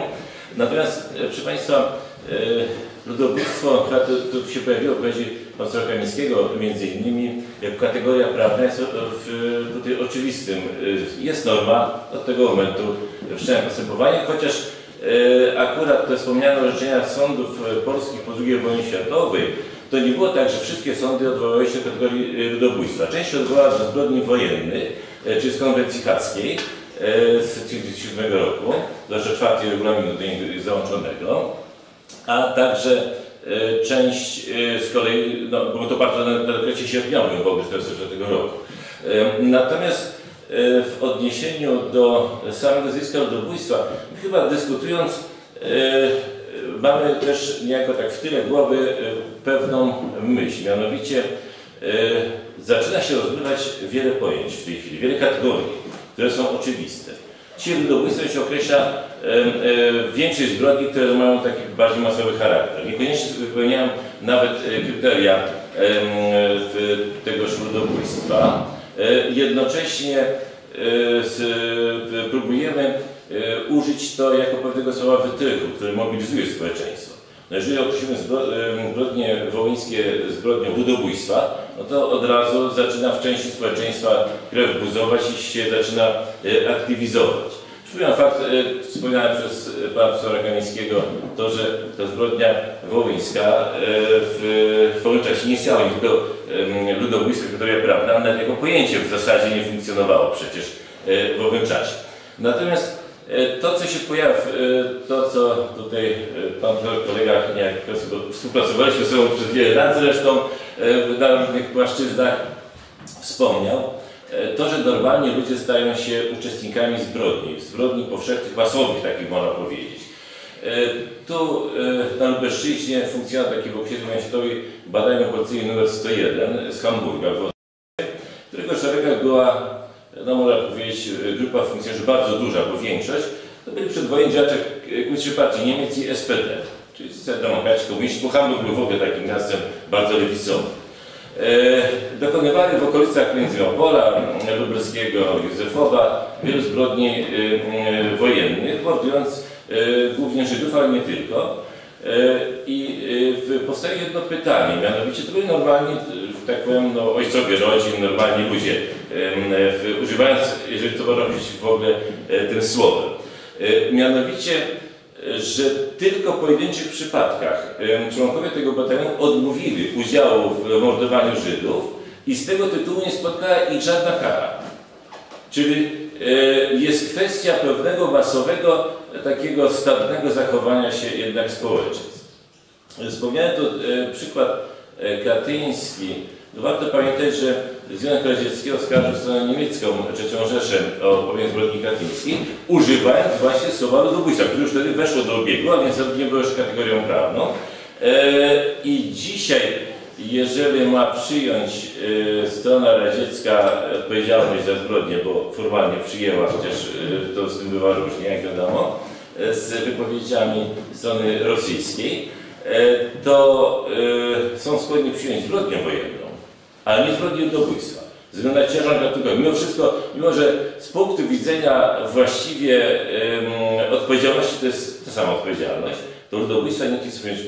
Podobnie jest, proszę Państwa, z pomnianym tutaj przykładem em, w Turze tureckim i i mordem na Ormianach, Asyryjczyków, znaczy e, grupie Greków, e, bo często my tą grupę większościową tutaj, tak jak Herero jest e, przykładem w Namibii, e, to e, w owym czasie obowiązujące przepisy prawa międzynarodowego, czyli przez konwencje haskie, mówiły o zbrodniach na ludności państwa przeciwnego, nie na własnej ludności. Nie istniało takie pojęcie. I to, co to była nasza wewnętrzna sprawa. Nikt nie mordował. To były przypadki jakichś tam wybryków e, różnego rodzaju, nikt nie mordował. Czyli e, prawo jak zwykle nie nadążało, nie przewidywało to, że pojawiły się zbrodnie ludobójstwa jako em, norma prawna, wynikało z faktu, że zdarzyło się w Europie. Cywilizowany naród niemiecki e, taką zbrodnię popełnił. Przecież pojawiły się próby łączenia właśnie zbrodni e, na Herero. E, Nawiasem mówiąc, jest taki raport Whitakera z 1995 roku, który e, właśnie, którego przyjęto deklarację o uznaniu e, zbrodni popełnionych na ludzie Herero jako e, pierwszej zbrodni ludobójstwa XX wieku. E, I próby powiązania właśnie zbrodni popełnionych w, ówczesnej Afryce Południowo-Zachodniej e, z e, Holokaustem, zbrodniami nazistowskimi w ogóle, a zwłaszcza z Holokaustem. Jest taka ciekawa książka Klausa Bauchmana, który zresztą e, realizował grant w Wencenie e, e, w tym zakresie, która, e, gdzie właśnie udowadnia, że nie, to były całkowicie odrębne e, e, zjawiska, pomijając fakt, że e, jednak wywołało reakcję e, i mass mediów, i, i, i, część społeczeństwa niemieckiego wiadomość o popełnianych e, e, zbrodniach, czego w III Rzeszy nie było. E, Natomiast jest chyba jeden pewien problem zasadniczy. Mianowicie, co się dzieje ze społeczeństwami, które funkcjonują jako społeczeństwa cywilizowane i w którymś momencie e, zaczynają zachować się kompletnie e, w, tak powiem, odmiennie od kręgu kulturowego, w którym wyrośli, od pewnych zasad, jak to określała klauzula Martensa, rządzących cywilizowanymi narodami. E, Co się dzieje? Dlaczego? Nie wiem, czy, czy Pan Profesor tu byłby w stanie e, na podstawie tych swoich badań powiedzieć, e, czy znalazł przyczynę tego zjawiska, który powoduje, że w którymś momencie ludzie takim w swoistym owczym będę się określa, idą i mordują innych, z którymi do tej pory żyli, funkcjonowali. Ja mam taki prosty przykład, to nie jest oczywiście zbrodnia ludobójstwa. Wiele temu jako młody chłopak do mojego ojca przyjął jego kolega, który wyjął się z Lwowa i opowiadał o walkach o lwów e, toczących się e, w, po zakończeniu I światowej. I mówi, że pierwsze dni to była wojna, mówiąc, że polsko-ukraiński konflikt jako ten taki wyjątkowo krwawy, gdzie tam wszyscy się nawzajem różnili, a zwłaszcza Ukraińcy Polaków. E, te pierwsze dni polegały na walce, w której jeżeli znaleziono rannego w tak uczestnika walki ze strony przeciwnej, to niezależnie od tego za co odprowadzano do domu. Polacy Ukraińcy odprowadzali Ukraińcy Polaków. Nie było tej nienawiści. Przybyły oddziały z, e, w Galicji e, e, właśnie ukraińskie, stąd e, przybyły oddziały polskie i wtedy zaczęła się już e, nienawiść. Czy w którymś momencie pojawił się ten moment, kiedy okazało się, że został e, przeciwnik uprzedmiotowiony? To nie jest podmiot, tylko przedmiot, e, którego trzeba zniszczyć. I to jest też pytanie właśnie, czy znalazł Pan taki, e, taki moment e, w e, zachowaniach ludzi, który decyduje o właśnie tym, że e, zaczynamy innego e, człowieka traktować jako przedmiot, a nie podmiot. Dziękuję. Bardzo. Ja chciałam tutaj, bo mi przyszło do głowy, że jak byłam jeszcze yy, studentką, studiowałam geografię, w 62 skończyłam, to modna była taka teoria Malthusa o nieuchronności wojen. Czyli przy tej teorii tłumaczono, że ludzkość świata tak yy, rozrasta się, że trzeba, żeby ją po prostu częściej y, w jakiś sposób i te wojny prowadziły do tego, że część ludzi ginę, ginęło i mogli się następni na ich miejsce pojawiać. Czy Państwo w ogóle słyszeli coś o tej teorii? Y, Czy ona w ogóle jest modna, czy została później jakoś... No bo ja mówię, że słyszałam bardzo bardzo, że później nie słyszałam.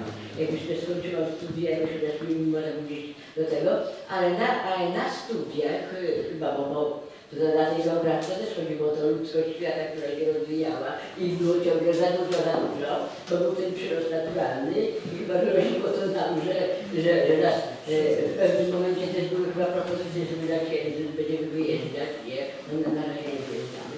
I chciałam się upewnić, że y, czy ta teoria w dalszym ciągu gdzieś jest, czy w ogóle gdzieś zginęła. Dziękuję. Dziękujemy bardzo. Czy jeszcze mają Państwo pytania?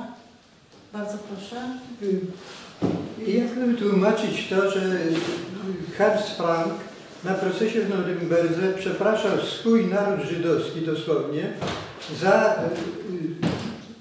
niepotrzebne i nadmierne cierpienia, czyli wśród tych ojców Holokaustu byli tacy, którzy uważali, że trzeba ten naród żydowski poddać jakimś cierpieniom.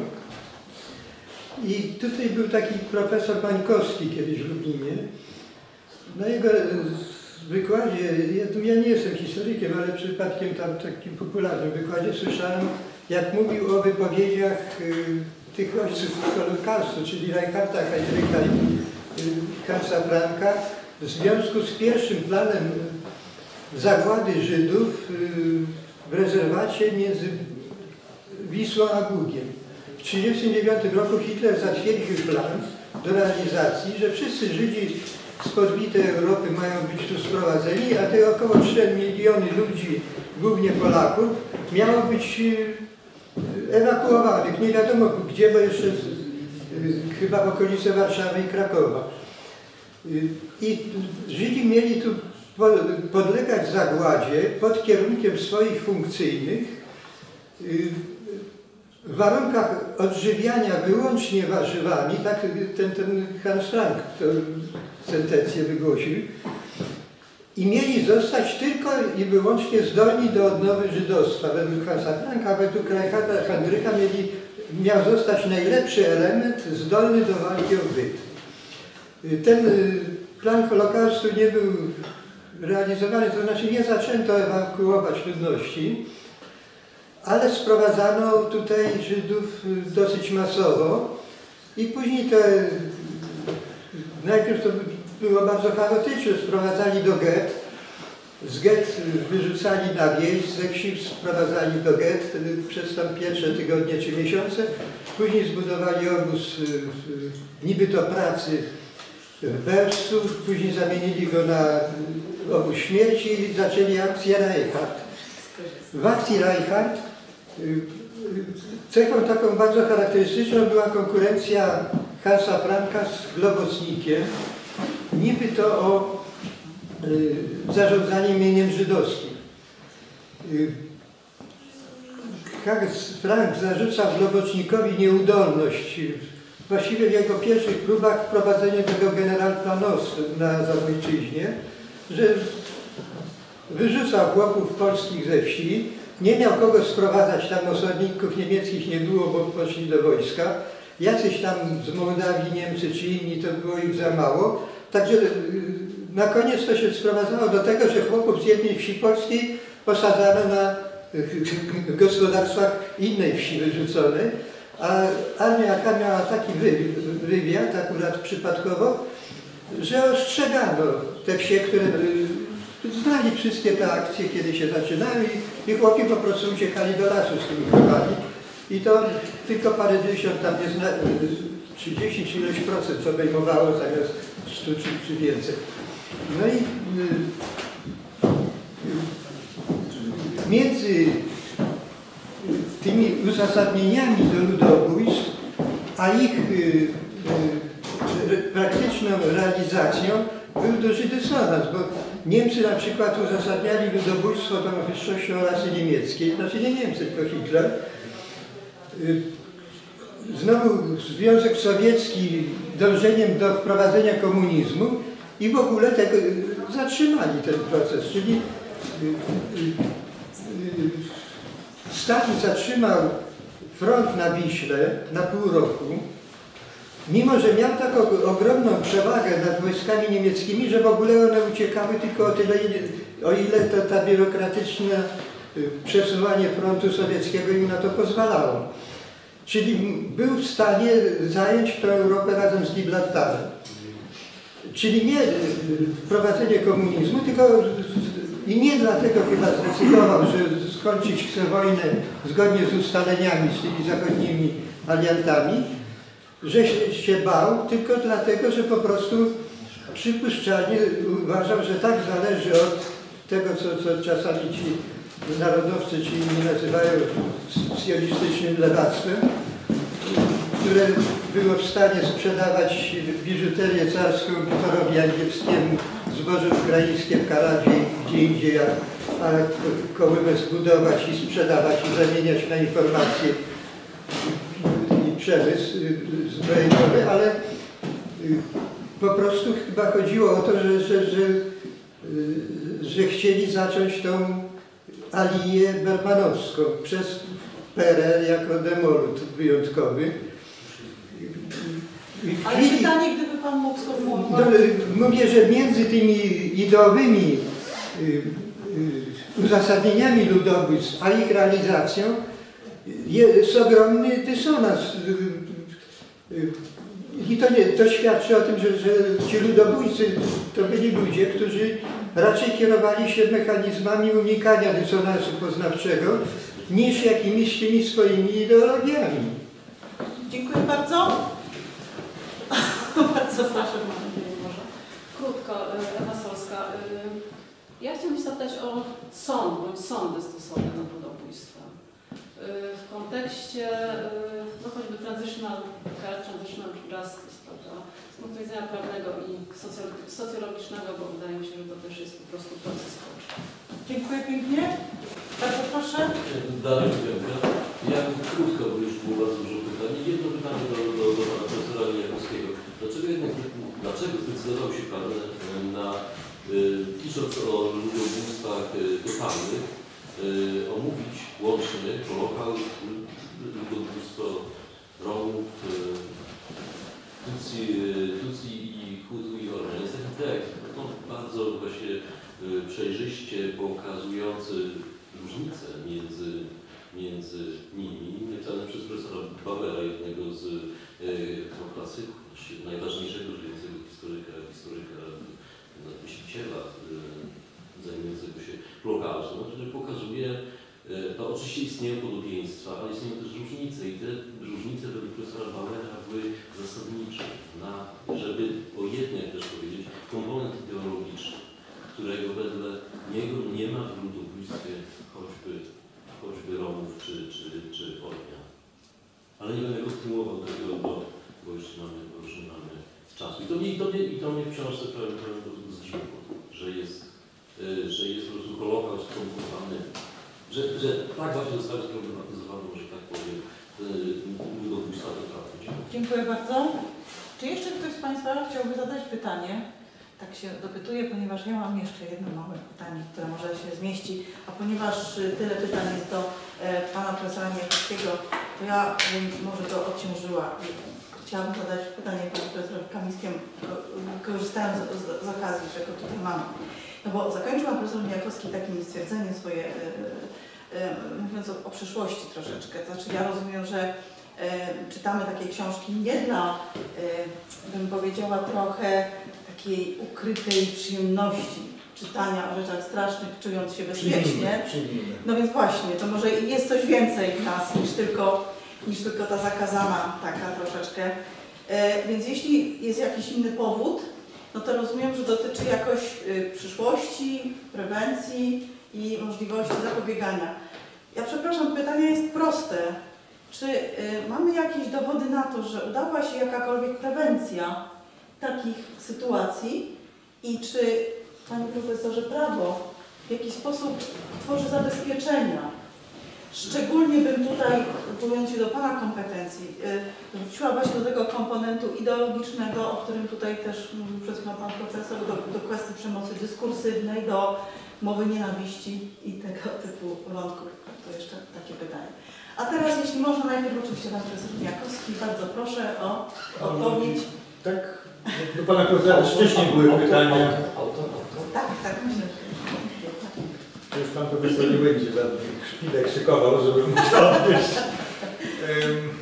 Ym, Może sobie pozwolę na część kwestii odpowiedzieć, tak żeby Państwa monotonią mojej wypowiedzi nie nudzić, więc zacznę może od tych kwestii najmniej dyskusyjnych, nie popłynę odpowiadając jak to wykładowcy mają. Jeśli chodzi o Maltusa, kry- kryzys maltuzjański, o którym Pani wspomniała, to oczywiście zostawmy historię, no w każdym razie funkcjonuje to pojęcie, oczywiście uwolniło się od tego e, kontekstu e, Maltusa, w tym sensie, że wyraźnie widać, że przełamaliśmy ten klasyczny e, kryzys maltuzjański, znaczy produkujemy więcej żywności niż nam się wydawało, potem jeszcze zielona rewolucja i tak dalej, w to nie wnikam, ale ograniczając się tylko i wyłącznie do ludobójstw. Tak, nawet niektórzy wyjaśniają to, że doszło do ludobójstwa kryzysem maltuzjańskim. Przykład Rwanda 94 rok. Bardzo gęsto zaludniony kraj, gdzie był głód ziemi, ogromny głód ziemi. E, O ile pamiętam, tam w pewnym momencie to już było poniżej hektara e, tego pola na gospodarstwo, E, więc naprawdę to było dobro niezwykle pożądane i w tym sensie nie będę podawał nazwisk, ale niektórzy tłumaczą, że to ogromne zagęszczenie, kryzys ekonomiczny związany między innymi z kryzysem na rynku kawy, napięcia polityczne związane z e, tam porozumieniami za ruszy nieistotne sprawiły, że to był ten główny powód to, że doszło do takiego e, oddolnego także mordowania sąsiadów e, Tutsi, kiedy można było natychmiast zająć ich pole, kiedy można było przyjąć ich bydło e, e, i je zjeść. Więc w tym sensie niektórzy do tego się odnoszą i w ogóle to jest wyjaśnienie bardzo często odnoszone do Afryki e, subsaharyjskiej, Afryki no powiem tak środkowej, no także Demokratyczna Republika Konga, straszliwy konflikt, zresztą też dziedzictwo Belgów w znacznej mierze. Moim zdaniem jest to zbyt takie monokauzalne wyjaśnienie, ale w tym sensie odpowiadając na Pani pytanie tak, wiele osób się do tego odnosi nawet widzę jakiś renesans tej teorii e, w kontekście na przykład e, kryzysów wynikających z, ze zmian klimatycznych. Znaczy coraz częściej wracają te wcześniej bardzo modne wyjaśnienia konfliktów, odwołujące się do kryzysów zupełnie podstawowych zasobów. Głód ziemi w Rwandzie, ale na przykład w Darfurze to jest głód wody i tam też są wskazywane na zmienne opady i tak dalej, i tak. To są już bardzo złożone modele dzisiaj, ale w tym sensie to wraca. I co ciekawe, myśląc o przyszłych konfliktach, coraz więcej e, osób podkreśla, że kryzysy klimatyczne e, to nie tylko na przykład masowa, e, masowe uchodźstwo, masowa emigracja, po części ta fala migracyjna do Europy jest także tego wynikiem, ale również ludobójstwo gdzie eksterminowanie jakichś grup to będzie no, bezpośredni zysk dla tych, którzy na przykład dzięki temu będą mieli dostęp do, do wody czy do innych, e, czy do innych e, zasobów. E, Z, z, z kwestii, na które mogę, to może ja teraz przerwę, żeby Państwa nie nudzić swoim głosem, oddam głos Panu Profesorowi. Czy tak możemy zrobić? Dobrze, bardzo Proszę, ja proszę. mogę dodać Proszę. Oczywiście, proszę. koszty tej teorii maltuzjańskiej, czyli wariacji współczesnych. Wspomniała Pani o książce Snydera, przecież w książce Czarna Ziemia, on właściwie Tak. o Holokauście, właściwie jakby antycypuje tego typu, czy ostrzega przed typu, tego typu zjawiskami w nowym ludobójstwie yy, ekologicznym, tak, względu na, na brak przestrzeni życiowej. No i znowu to w takim razie tutaj dwa słowa. Co o- zresztą cofa E, Tu jest, to jest w ogóle bardzo modne, to jest też takie określenie środowiskowa historia zagłady na przykład. No nie będę teraz oceniał, no w każdym razie coraz częściej właśnie e, także wraca się do starych wyjaśnień, ale też zupełnie nowe przedstawia, co wynika z e, na przykład mody na takie teorie jak to to sieci, Bruno Latour i inni, kiedy mamy dowartościowanych nieludzkich aktorów, w tym sensie to są takie płaskie ontologie, ludzie, nie ludzie, to są e, czynniki sprawcze na równi, studia postkolonialne i tak dalej, i tak więc w tym sensie są też takie mody, ale obok tego jest właśnie między innymi podkreślanie tych e, no, często pozaludzkich aktorów, a tu jest dla prawnika problem ogromny, prawda, bo tam intencji nie ma, a tak można by na przykład wyjaśniać takie sprawstwo na przykład, nie wiem, pustyni w przypadku e, ludobójstwa częściowego Hererów, czy pustyni w przypadku ludobójstwa totalnego Ormian, tak na marginesie. Panie profesorze. Proszę Państwa, do tych kwestii, które się pojawiły i które w- przede wszystkim zakres mojej prawniczej kompetencji mogę wpisywać, aczkolwiek też jestem socjologiem z wykształcenia. Y, Proszę Państwa, y, y, to może tak. Dzisiaj. Wcześniej Państwu wskazywałem, że, że, że szereg wątpliwości się, mimo iż mamy do czynienia z Holokaustem, mamy do czynienia z rzezią Ormian, czy możemy stosować y, kategorię y, ludobójstwa jako przestępstwa, jako zarzut wobec sprawców. Y, Jak słyszeliście Państwo, mm, nuty sceptycyzmu w moim głosie były. E, Natomiast gdybym miał dzisiaj powiedzieć, gdzie jesteśmy? W roku 2019 i co jako prawnicy widzimy, identyfikujemy jako zbrodnię ludobójstwa, powiedziałbym rzecz następującą. I to jest, wydaje mi się, coś niezwykle optymistycznego, ale ten optymizm będę za moment troszeczkę tępił. Mianowicie jesteśmy, proszę Państwa, zgodni co do tego, że mamy do czynienia w prawie międzynarodowym z zakazem ludobójstwa, z potrzebą ścigania sprawców aż po grób, czyli jest to zbrodnia niepodlegająca przydatniku. To pierwsza rzecz. Druga. Y, Do zbrodni ludobójstwa odnosi się konwencja z roku 1948. Zatem, czy tylko te państwa, które podpisały konwencję, są związane z zapisanymi w niej regułami, zakazami, nakazami ścigania? Czy proszę Państwa, państwo, które wychodzi z konwencji z 1948 roku, przestaje być związane regułami tamżeż zapisanymi? Otóż sytuacja z punktu widzenia prawa międzynarodowego i jest to jednoznaczne stanowisko prawa międzynarodowego jest następująca. Nie trzeba być stroną konwencji, by zakaz dane państwo wiąza. Zakaz ludobójstwa, definicja ludobójstwa tam już zawarta. Y, Zakaz ludobójstwa to nie jest jedynie zakaz traktatowy.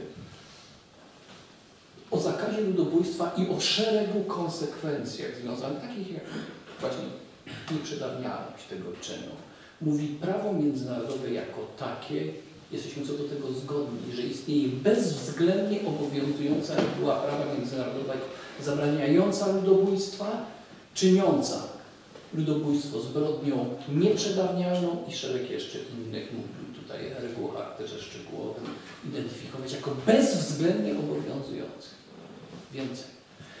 W naszej dyskusji pojawiła się, pojawiło się pytanie e, o to, się wątek kryterium politycznego jako właśnie identyfikującego grupę, która jest celem działań ludowniczych. O tym mówił, pisał jednoznacznie Lemkin. Tego nie ma w konwencji z 1948 roku.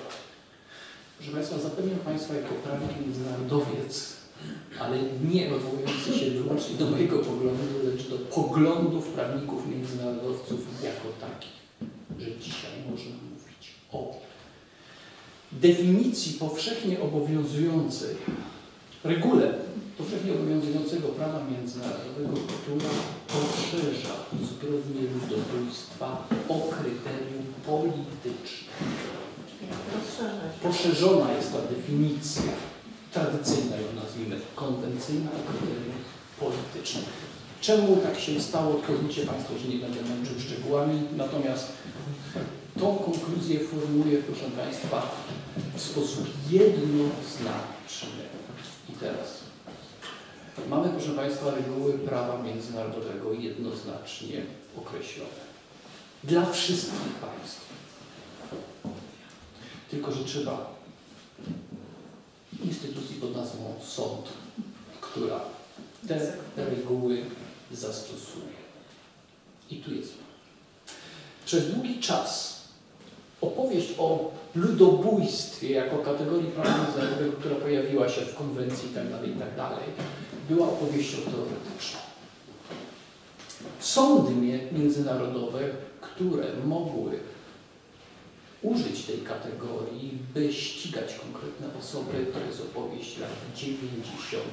dopiero. To jest, proszę Państwa, również, to, to, to są te trybunały ad hoc do spraw Rwandy i do spraw Jugosławii, ale ad hoc doraźne. Potrzebna była wola polityczna, żeby te trybunały powstały. Wola Organizacji Narodów Zjednoczonych, a precyzyjnie Rady Bezpieczeństwa, co oznacza brak weta pięciu stałych członków. Proszę Państwa, wyobraźcie- sobie, że dzisiaj powstałyby Trybunał do spraw byłej Jugosławii. Co najmniej dwóch wice stałych członków Rady Bezpieczeństwa, którzy zagłosowali przeciwko. To był moment historyczny. To była wyjątkowa sytuacja lat 90., że udało się stworzyć oba trybunały, ponieważ była wola polityczna. Możecie Państwo powiedzieć, jest dzisiaj Międzynarodowy Trybunał Karny, tylko że trzeba się zgodzić na jurysdykcję tego Trybunału. Polska się zgodziła. Federacja Rosyjska nie. Chiny nie. Stany Zjednoczone nie. Czyli trzy państwa stali członkowie Rady Bezpieczeństwa. Francja, Wielka Brytania tak. Natomiast skoro najwięksi się nie zgadzają, to nie ma, proszę Państwa, presji. Nie mówię już o przekonaniu. Jestem w moim wieku realistą, więc mówię o pewnej presji, pewnym nacisku, pewnej sile, którą się czuje, żeby się pewnym regułom poddać i jurysdykcją sądów, które owe reguły e, egzekwują.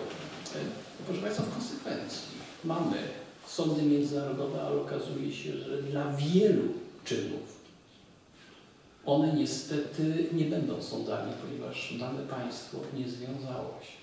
Pytanie, proszę Państwa, to które Pani Profesor zadała. Czy czegoś udało się nam uniknąć? Nie wiem. Natomiast y, mocno bym jednak podkreślał tę jednoznaczność reguł prawa międzynarodowego. One są jednoznaczne. One są wyczuwalne. Ze wszystkimi ograniczeniami związanymi z jurysdykcją sądów itd., itd. Ale one są. To jest pewna sytuacja, którą sprawca, potencjalny sprawca musi identyfikować. Jako realista powiem, że no strach jest tutaj pewnym mechanizmem.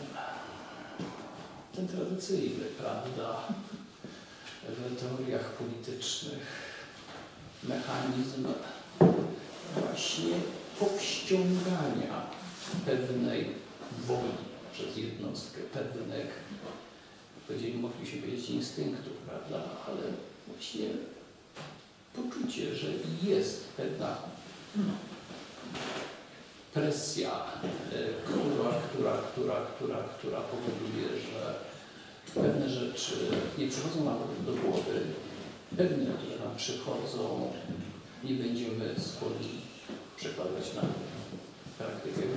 To jest być może minimalistyczne podejście, ale wydaje mi się, że właśnie jednak na całe szczęście ta jednoznaczność e, prawa międzynarodowego, gdy chodzi o deklarację pewnych reguł, jest sytuacją e, zdecydowanie, zdecydowanie lepszą niż te początki opowieści o ludobójstwie jako kategorii prawnej. Dzisiaj mamy dużo bardziej jednoznaczną sytuację. To kontynuując, bo chciałbym jednak odpowiedzieć Właśnie, też, żeby Państwo potem nie wypinali, z przerażeniem patrzę na, czas. U nas czas biegnie trochę inaczej niż u Państwa. Na mnie ciąży niż Państwo, tak powiem. Więc idąc tym tropem, e, oczywiście nie wiemy, ilu ludobójstw się nie wydarzyło, bo na przykład e, potencjalni sprawcy się bali później, czy to przed, e, skazania przed Trybunałem, czy jakiejś innej dolegliwości. Prawda? Tego nie wiemy.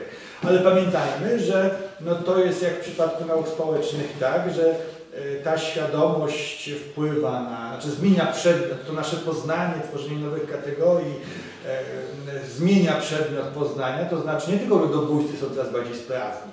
No ja po tym, co przeczytałem, mogę od ręki napisać kilkanaście skryptów, co robić z ciałami zamordowanych w czasie ludobójstwa ofiar. Jestem ekspertem jak nigdy i w zakresie chemii i czego tam jeszcze, tylko dlatego, że po prostu o tym czytałem. E, Ale z drugiej strony to jest oczywiście też e, coraz większa świadomość tego, co grozi, tego, że się nie uniknie. No, Miloszewicz w końcu mógł mieć wtedy przekonanie, e, że mu się uda. Zresztą jeszcze w kontekście Dayton i tak dalej. Później to się zmieniało. No, ale poza tym są jeszcze interwencje humanitarne. I tutaj widać, że czasami były to po prostu interwencje zbrojne, e, które można byłoby uznać za interwencje humanitarne, bo powstrzymały masowy mord, który być może by się w ludobójstwo zamienił. E, Natomiast broń Boże, państwo ingerujące tak o tym nie myślało. Przykład Indie w Pakistanie Wschodnim, kiedy powstawał Bangladesz, prawda? E, Oni absolutnie nie myśleli tymi kategoriami interwencji humanitarnej i tak dalej, a jakoś to powstrzymało. Więc to jest historia, historia bardzo złożona, ale myślę, że ten e, kontekst e, prewencji działa, bo wielu przywódców jest jednak stawianych przed trybunałami, Czego, zwłaszcza teraz przed Międzynarodowym Trybunałem e, czego się nie spodziewali, choć osiągnięcia są od tego bardzo nikłe, to można założyć, że dzisiaj nie jest tak łatwo być ludobójcą albo masowym zbrodniarzem, jak jeszcze w erze zimnej wojny, prawda? Ciekawe, Saddama Husajna e, szybko powieszono, zanim zajęto się operacją Anfal i jego gazowaniem Kurdów. Ciekawe czemu, no już nie będę to wnikał. Ale e, czas goni, więc jeszcze bardzo szybko. Pani tu wspomniała o sprawiedliwości okresu przejściowego, prawda? I to jest pewnie znacznie szersze niż tylko karanie.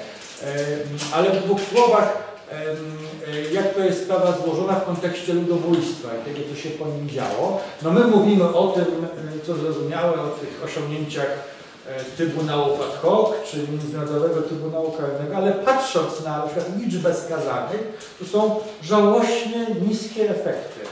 A koszty funkcjonowania tych trybunałów makabryczne. Co zrobili na przykład Rwandyjczycy w związku z tym? E, Wprowadzili e, sądy gaczacza, e, czyli takie z okresu kolonialnego, czy przedkolonialnego tradycyjne sądy plemienne, że użyję tych takich nacechowanych nazw, kiedy w wiosce jak gdyby kolektyw, komuna oceniała tego, kto był wskazany jako sprawca. Prawda?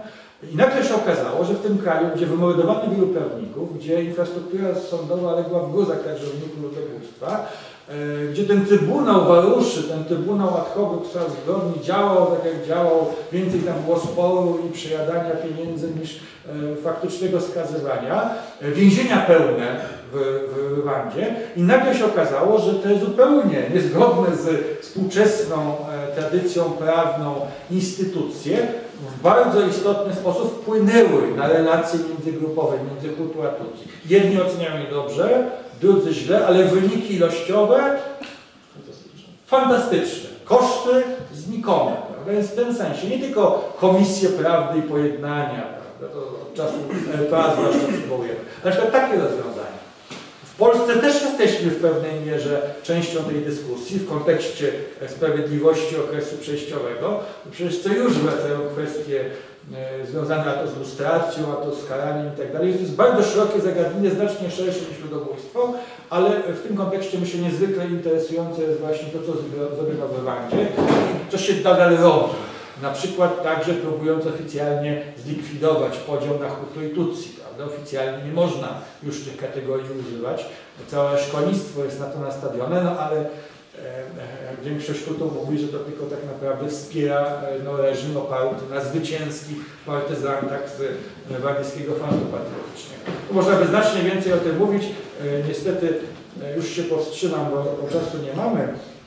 Natomiast e, jeżeli chodzi o kwestię wyjątkowości a porównywalności, to jest oczywiście bardzo ważna kwestia. Ta wyjątkowość Holokaustu, dodajmy, to jest stary wątek, kiedy e, no, wiele osób podkreślało, często ocalonych z Holokaustu, ludobójstwa Żydów, że to jest tak wyjątkowa zbrodnia, że porównywanie tego na przykład z, e, z jakimiś tam, zwłaszcza z zbrodniami po II wojnie światowej, to jest pomniejszanie cierpienia, dramatu ofiar żydowskich, to jest relatywizacja tej zbrodni i tak dalej, i tak. Więc w tym kontekście mówiłem o tym braku wyjątkowości, ale w innym sensie każde wydarzenie historyczne jest wyjątkowe, bo w tym miejscu czasoprzestrzeni się wydarzyło w tak specyficznym kontekście, że to jest nieporównywalne. E, Więc chodzi o to, że no mówiąc wprost, nie jest tak, że bez wątpienia bezprecedensowe ludobójstwo totalne na, na Żydach e, nie może być porównywane z innymi. Może. To zresztą dla badaczy tego ludobójstwa też wiele wnosi. E, No ale nie jest to w tym sensie taki wyjątek, nie wiem, w dziejach związany z jakąś inną historiozofią. Nie. Problem polega na tym, że wiele mechanizmów opisanych przez Hilberga długo przez, przed przecież dalej działa, prawda? E, I w tym sensie jak najbardziej z tej komparatystyki porównywania można e, wiele, wiele wynieść. No oczywiście to, co Pan mówi o tym pojęciu, nie używam tego pojęcia, jak Pan widzi, narażając się między innymi na krytykę Pana profesora. E, No ale to, co podkreślałem wcześniej, gdy mówimy o zbiorowej przemocy, to to jest kontinuum. I tak na dobrą sprawę to zawsze wymusza na nas e, sprowadzenie tej, tej dyskusji do kontekstu. No powtórzę raz jeszcze e, ludobójstwo na Żydach, prawda? Einsatzgruppen na froncie wschodnim, masowe moduły, strzelanie w głowę, brudzenie się mózgiem, e, a później ta już maszyneria w Auschwitz II, Birkenau, w Treblince i tak dalej, jak różne procesy. E, To zresztą też interesujące, że przecież w ludobójstwie w Rwandzie w 1994 roku większość ofiar padła od maczet, od narzędzi rolniczych, a nie od e, broni palnej oddziałów wojskowych, prawda? A też była to jak najbardziej zbrodnia nowoczesna w zakresie mobilizacji. Także tu z komparatystyki można wiele wynieść. I oczywiście to pojęcie trzeba stosować, acz to jest problem ogromny. No, kto wyjdzie na ulicę i powie, Katyn nie był ludobójstwem? No, musimy mieć odwagę pewną. Prawda? Bo jak to będzie odczytane? Nie w moim badaniu ludobójstw, w moim modelu nie uwzględniam tego przypadku, bo. Tylko to jest jednoznaczna deklaracja, jestem za Moskwą, jestem za Putinem, pogardzam narodem polskim. I ten kontekst sprawia, że niestety również te studia nad ludobójstwem uwikłane są w bardzo różne dyskusje. U nas jest to Wołyń, e, Katyń czy inne takie przypadki, ale każdy kraj ma, ma takie, takie, takie spory. Więc to jest bez wątpienia obciążenie, no ale jak Pan widzi, to, to ludobójstwo użyłam i powtórzę, e, choć z tymi zarzutami, wątpliwościami Pana Profesora się zgadzam, no to nie da się uczyć od tego pojęcia. To jest po prostu już w tym momencie e, niewykonalne. Jeśli chodzi o bardzo trudne pytanie e, Pana Profesora Libionki, e, to można by bardzo długo o tym mówić, niestety nie mam czasu. Całkowicie się zgadzam, że są to bardzo różniące się ludobójstwa. E, Tu zresztą można poszerzyć Pana pytanie, bo też w dyskusji pojawiał się przykład przecież Greków, prawda, w czasie e, ludobójstwa Ormian w Imperium Osmańskim. Więc to połączenie po części było wynikiem tego skomasowania narracji, ja też miałem jakiś limit objętościowy w tym wszystkim. Ta książka wygląda na bardzo grubą, ale ona jest taką przyjazną czcionką napisana tam, już musiałem później się bardzo ograniczać. E, Ale generalnie oczywiście była to też kwestia jedności miejsca, czasu i sprawców. E, To wpłynęło przede wszystkim, acz e, choćby porównując kwestię ludobójstwa Żydów i ludobójstwa Romów, wyraźnie e, widzimy e, w jakiej mierze to się różniło, ale w jakiej mierze także na przykład późniejsza eksterminacja Romów była już przejęciem tego wypracowanego modelu, e, wypracowanego na Żydach. Prawda? No choćby kwestia później likwidacja obozu e, romskiego w Auschwitz-Birkenau. Więc e, upraszczając, e, mógłbym się bronić w taki sposób, ale jednak generalnie zakładam, że ta jedność czasu, miejsca sprawcy e, uprawnia nas do tego, żeby e, podejmować takie działania, tym bardziej, że to pokazuje, że często te kategorie etniczne, narodowe inne, które się pojawiają, one są tak naprawdę może czytelne w naszych oczach, ale niekoniecznie aż tak czytelne w oczach sprawców w danym momencie, w danym miejscu, prawda? E, I w tym sensie e, jest to strategia e, bardzo płodna. E, Ja sobie pozwolę teraz e, przerwać, może Pan Profesor będzie chciał coś jeszcze dodać, a ewentualnie na koniec jeszcze dwa słowa. Pani No to ja też, ponieważ czasu już nie mamy wiele, nie? Nie ma czasu w ogóle. W ogóle nie ma czasu. W ogóle. To bardzo krótko, jak mam rzecz. Znaczy, bo tu padło pytanie ważkie, które chyba najbardziej traktuje do mnie kierowane. Dlaczego mielibyśmy zrezygnować z pojęcia, e, z pojęcia ludobójstwa? Oczywiście rozumiem, że w praktyce nie możemy, bo ono się tak zakorzeniło, że pewnie byłoby trudno, ale w sensie takim analitycznym, dlaczego, dlaczego, dlaczego moglibyśmy z niego zrezygnować? W sensie kategorii prawnych yy, większość yy, stanów faktycznych i czynów e, można yy, można go osądzić na podstawie kategorii zbrodni przeciwko ludzkości. Co więcej, ten sam fakt historyczny, jaki był punktem wyjścia do wypracowania pojęcia ludobójstwa, czyli ileś Ormian, bo od tego to zainspirowało Lemkina przede wszystkim. Tak samo z, tej, z oceny tego faktu wywodzi się yy, yy, genezę ukształtowanie się pojęcia zbrodni przeciwko ludzkości, ponieważ po raz pierwszy to sformułowanie zostało w ogóle użyte w deklaracji rządów państw antantych z 15 roku, potępiające właśnie rzezi Ormian jako, jako, jako, jako, jako zbrodnie przeciwko ludzkości cywilizacji, jeśli dobrze pamięć nie przekręcam. Yy, cytatu, czyli już poszło dwie ścieżki z tego samego faktu, gdzie doszliśmy do, do, do koncepcji zbrodni przeciwko ludzkości i koncepcji zbrodni ludobójstwa. I zwracam uwagę na bardzo ważną książkę, ciekawą książkę y, Filipa Sansa, która się ukazała y, nie tak dawno, y, gdzie on opisuje dwie postaci. Lemkina, o którym już tyle mówiliśmy, i Herschela, Herschela Lauterbachta, też prawnika wywodzącego się z, ze szkoły lwowskiej, e, który jest twórcą pojęcia zbrodni przeciwko ludzkości skodyfikowanego w statucie Międzynarodowego Trybunału Wojskowego w Werce. I sam zwraca uwagę na taką rzecz. Lemkin skupia się na ochronie grupy. Pojęcie zbrodni przeciwko ludzkości skupia się na ochronie jednostki. I mnie się wydaje, że z punktu widzenia jednostki i oceny też moralnej mordu jest naprawdę wszystko jedno. Czy ta jednostka jest mordowana z jakichś tam powodów, co kwalifikuje jako zbrodnię przeciwko ludzkości, czy jako część grupy. I jest naprawdę wszystko jedno. E, to jest tyle, jeśli, jeśli chodzi o użycie y, ludobójstwa jako kategorii analitycznej w naukach społecznych, to nie wiem, jaką wartość dodaną nam to daje, co nam to wyjaśnia. Co nam wyjaśnia to, że tym samą etykietą opatrzymy eksterminację Indian północnoamerykańskich i Holokaust, gdzie mechanizmy, skala, y, przyczyny, wszystko są naprawdę bardzo różne, a podciągamy to pod tą samą definicję. Nawet jeżeli uznamy, że oba spełniają tę definicję, to co w wyjaśnianiu mechanizmów społecznych nam daje użycie? No i daje nic. Dlatego y, ja rozumiem, że, y, że jest celowe, zasadne i, ciekawe badanie mechanizmów czegoś, co nazwałbym roboczo mm, masową eksterminacją zbiorowości. O.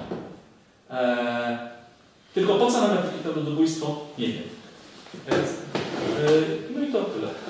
Dziękuję bardzo. I Dwa słowa w takim razie na koniec, bo zamykając. w ogóle nie odpowiedziałem na pytanie e, pana profesora, a to by wymagało wykładu, czy chyba, że państwo półtorej godziny jeszcze mają. Chyba będzie trudno. E, Więc e, tylko, Tylko, że da, dało się wychwycić jakiś taki pewien moment, kiedy zaczyna się tworzyć właśnie y, taka psychoza bardzo chętnie panie profesorze, ale to poniżej pół godziny nie ma szansy. Y, Jedno powiem, nie ma żadnego konsensusu wśród badaczy ludobójstw.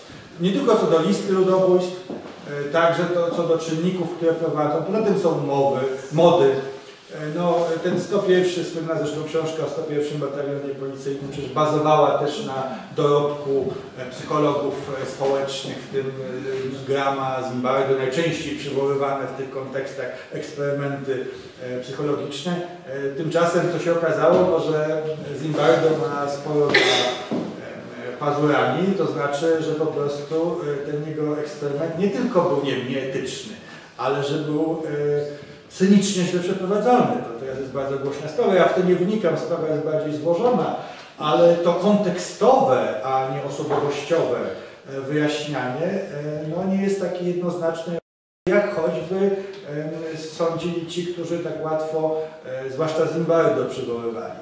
E, W każdym razie e, problemy są ogromne. Ja pragnę zwrócić uwagę tylko na jeden e, kluczowy problem.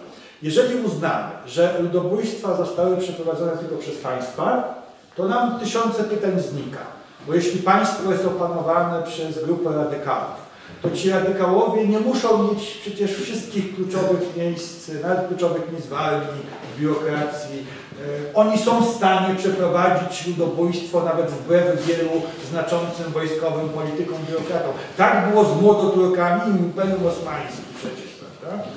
E, e, No ale e, jeżeli uznamy, że nie tylko państwa przeprowadzają ludobójstwa, to już tam wiele odpowiedzi wynikających z działania państwa znika. Po drugie, no jednak kwestia kolonii i nie kolonii. No w koloniach mieliśmy do czynienia z endemiczną przemocą od początku, prawda, skończywszy na dekolonizacji, a nawet to się dalej, dalej ciągnie. E, I wiele z tych form zabijania było e, wręcz powodem do chwały dla wojskowych, którzy wracali do Europy. Prawda? E, I przez długi czas nikt tego nie uznawał, że była ta łatwość masowego mordu. No von był później fytowany jako bohater przecież za co? Za ludobójstwo częściowe e, ludów heroinama. Więc w tym sensie wyraźnie widzimy, że jeśli połączymy w jedną kategorię e, eksterminację kolonialną i europejską, no to mamy kolejny problem. Zresztą jest gigantyczna literatura, jak ma się eksterminacja w koloniach do później zbrodni, no choćby w czasie II wojny światowej. Na pewno są też ci, którzy grube książki napisali, pokazując, że na przykład w zakresie kultury militarnej istnieje bardzo silny związek no choćby doświadczenia namibijskiego z późniejszym postępowaniem na froncie wschodnim II wojny światowej. E, Więc już to zróżnicowanie pokazuje, że tutaj nie ma jednej prostej odpowiedzi. Ja generalnie, gdybym miał coś twardo powiedzieć, to e, to, że mnie zaskakuje łatwość. Nie ma ogólnego e, modelu, który byłby niezbędny, a w związku z tym, jeżeli go nie wprowadzimy, to, e, to się nie uda ludobójstwo. Dowolne wyjaśnienia, dowolne religie, dowolne sposoby były wykorzystywane do tego, żeby zabijać inne osoby. Nie trzeba było obozów zagłady, nie trzeba było nowoczesnej infrastruktury, nie trzeba było systemu e, utylizacji ciał. Można to było zrobić maczetami w krwawe 100 dni. Proszę, Hutu byli lepsi niż, niż Niemcy e, o niebo. Więc z tego punktu widzenia e, jest to niezwykle niepokojące, ale to, co jest kluczowe i co także jest jakimś em, punktem łączącym choćby starania prawników, działaczy organizacji pozarządowych, naukowców i wszystkich zainteresowanych tymi tematami. Jednak stan stosunków międzynarodowych, który bardzo zaburza wojna, skąd ona jest niezwykle czynnikiem istotnym w mobilizacji ludobójczej. Stan stosunków międzynarodowych jest kluczowy. I, I w tym sensie, e, jeżeli mamy do czynienia z taką e, międzynarodową presją i kontrolą, to po prostu ta przemoc e, słabnie e, zanika. Natomiast jeśli ta e, kontrola słabnie z takich czy innych powodów, bo mamy do czynienia z wojną, czy mamy do czynienia z e, jakimś blokowym podziałem i zasadniczymi różnicami interesów, e, to czy to wiek XVIII czy XXI, bardzo łatwo wtedy ludzie zamieniają się w takie bestie, no, które robią to, co na przykład obecnie się dzieje no, na Bliskim Wschodzie. Prawda? Kiedy no, mamy do czynienia z prawdziwie apokaliptycznymi e, scenarii. Także niestety istnieje zaskakująca łatwość dołączania się do tego kolektywu, żeby zabijać innych, a z drugiej strony zaskakująco wiele prostych recept, co zrobić, aby, e, aby do tego nie dochodziło. No choćby zmuszać nasze rządy, żeby w tych mechanizmach międzynarodowych e, groziły użyciem siły, powstrzymywały tych, którzy chcieliby w taki czy inny sposób, z takiego czy innego powodu wymordować innych. Myślę, że to może ta optymistyczna, ta druga strona medalu e, na koniec. E, No w każdym razie przepraszam, że wielu kwestii nie byłem w stanie pociągnąć. Dodam, e, że nawet jak na tą książkę popularno-naukową musiałem mnóstwo naukowych dzieł przeczytać, w Polsce nie ma tego wiele, ale odsyłam do literatury anglojęzycznej. Są to setki, tysiące pozycji, w tym encyklopedii i leksykonów, dostępnych także w internecie. Mogą Państwo e, każdemu z tych wątków, które tutaj e, podnieśliśmy dzisiaj, e, się poświęcić i na pewno organizatorzy pewnie ewentualnie mojego maila podadzą. Gdyby ktoś z Państwa miał jakieś dodatkowe pytania, także bardzo szczegółowe dotyczące choćby bibliografii, to bardzo proszę bez skrępowania pisać do mnie na maila, którego rozumiem, tak mogę tak prosić, Państwo gdzieś tam podadzą, choćby na stronie wydarzenia. E, Postaram się wtedy także e, bardziej szczegółowo odpowiedzieć na inne Państwa pytania, E, a na pewno ze swojej strony, zanim oddam Pani głos, chciałbym serdecznie podziękować za udział w tej dyskusji. No i Panom profesorom, że przyjechali specjalnie, żeby o ludobójstwach rozmawiać powtórzę. Ludobójstwo, jak widać, także łączy. No bez wątpienia jest to, jest to termin, który łączy osoby z bardzo różnych dyscyplin, bardzo różnych specjalności, bardzo różnych zawodów, co stanowi no, niezbywalny kontekst tych wszystkich naszych dyskusji. Dziękuję bardzo.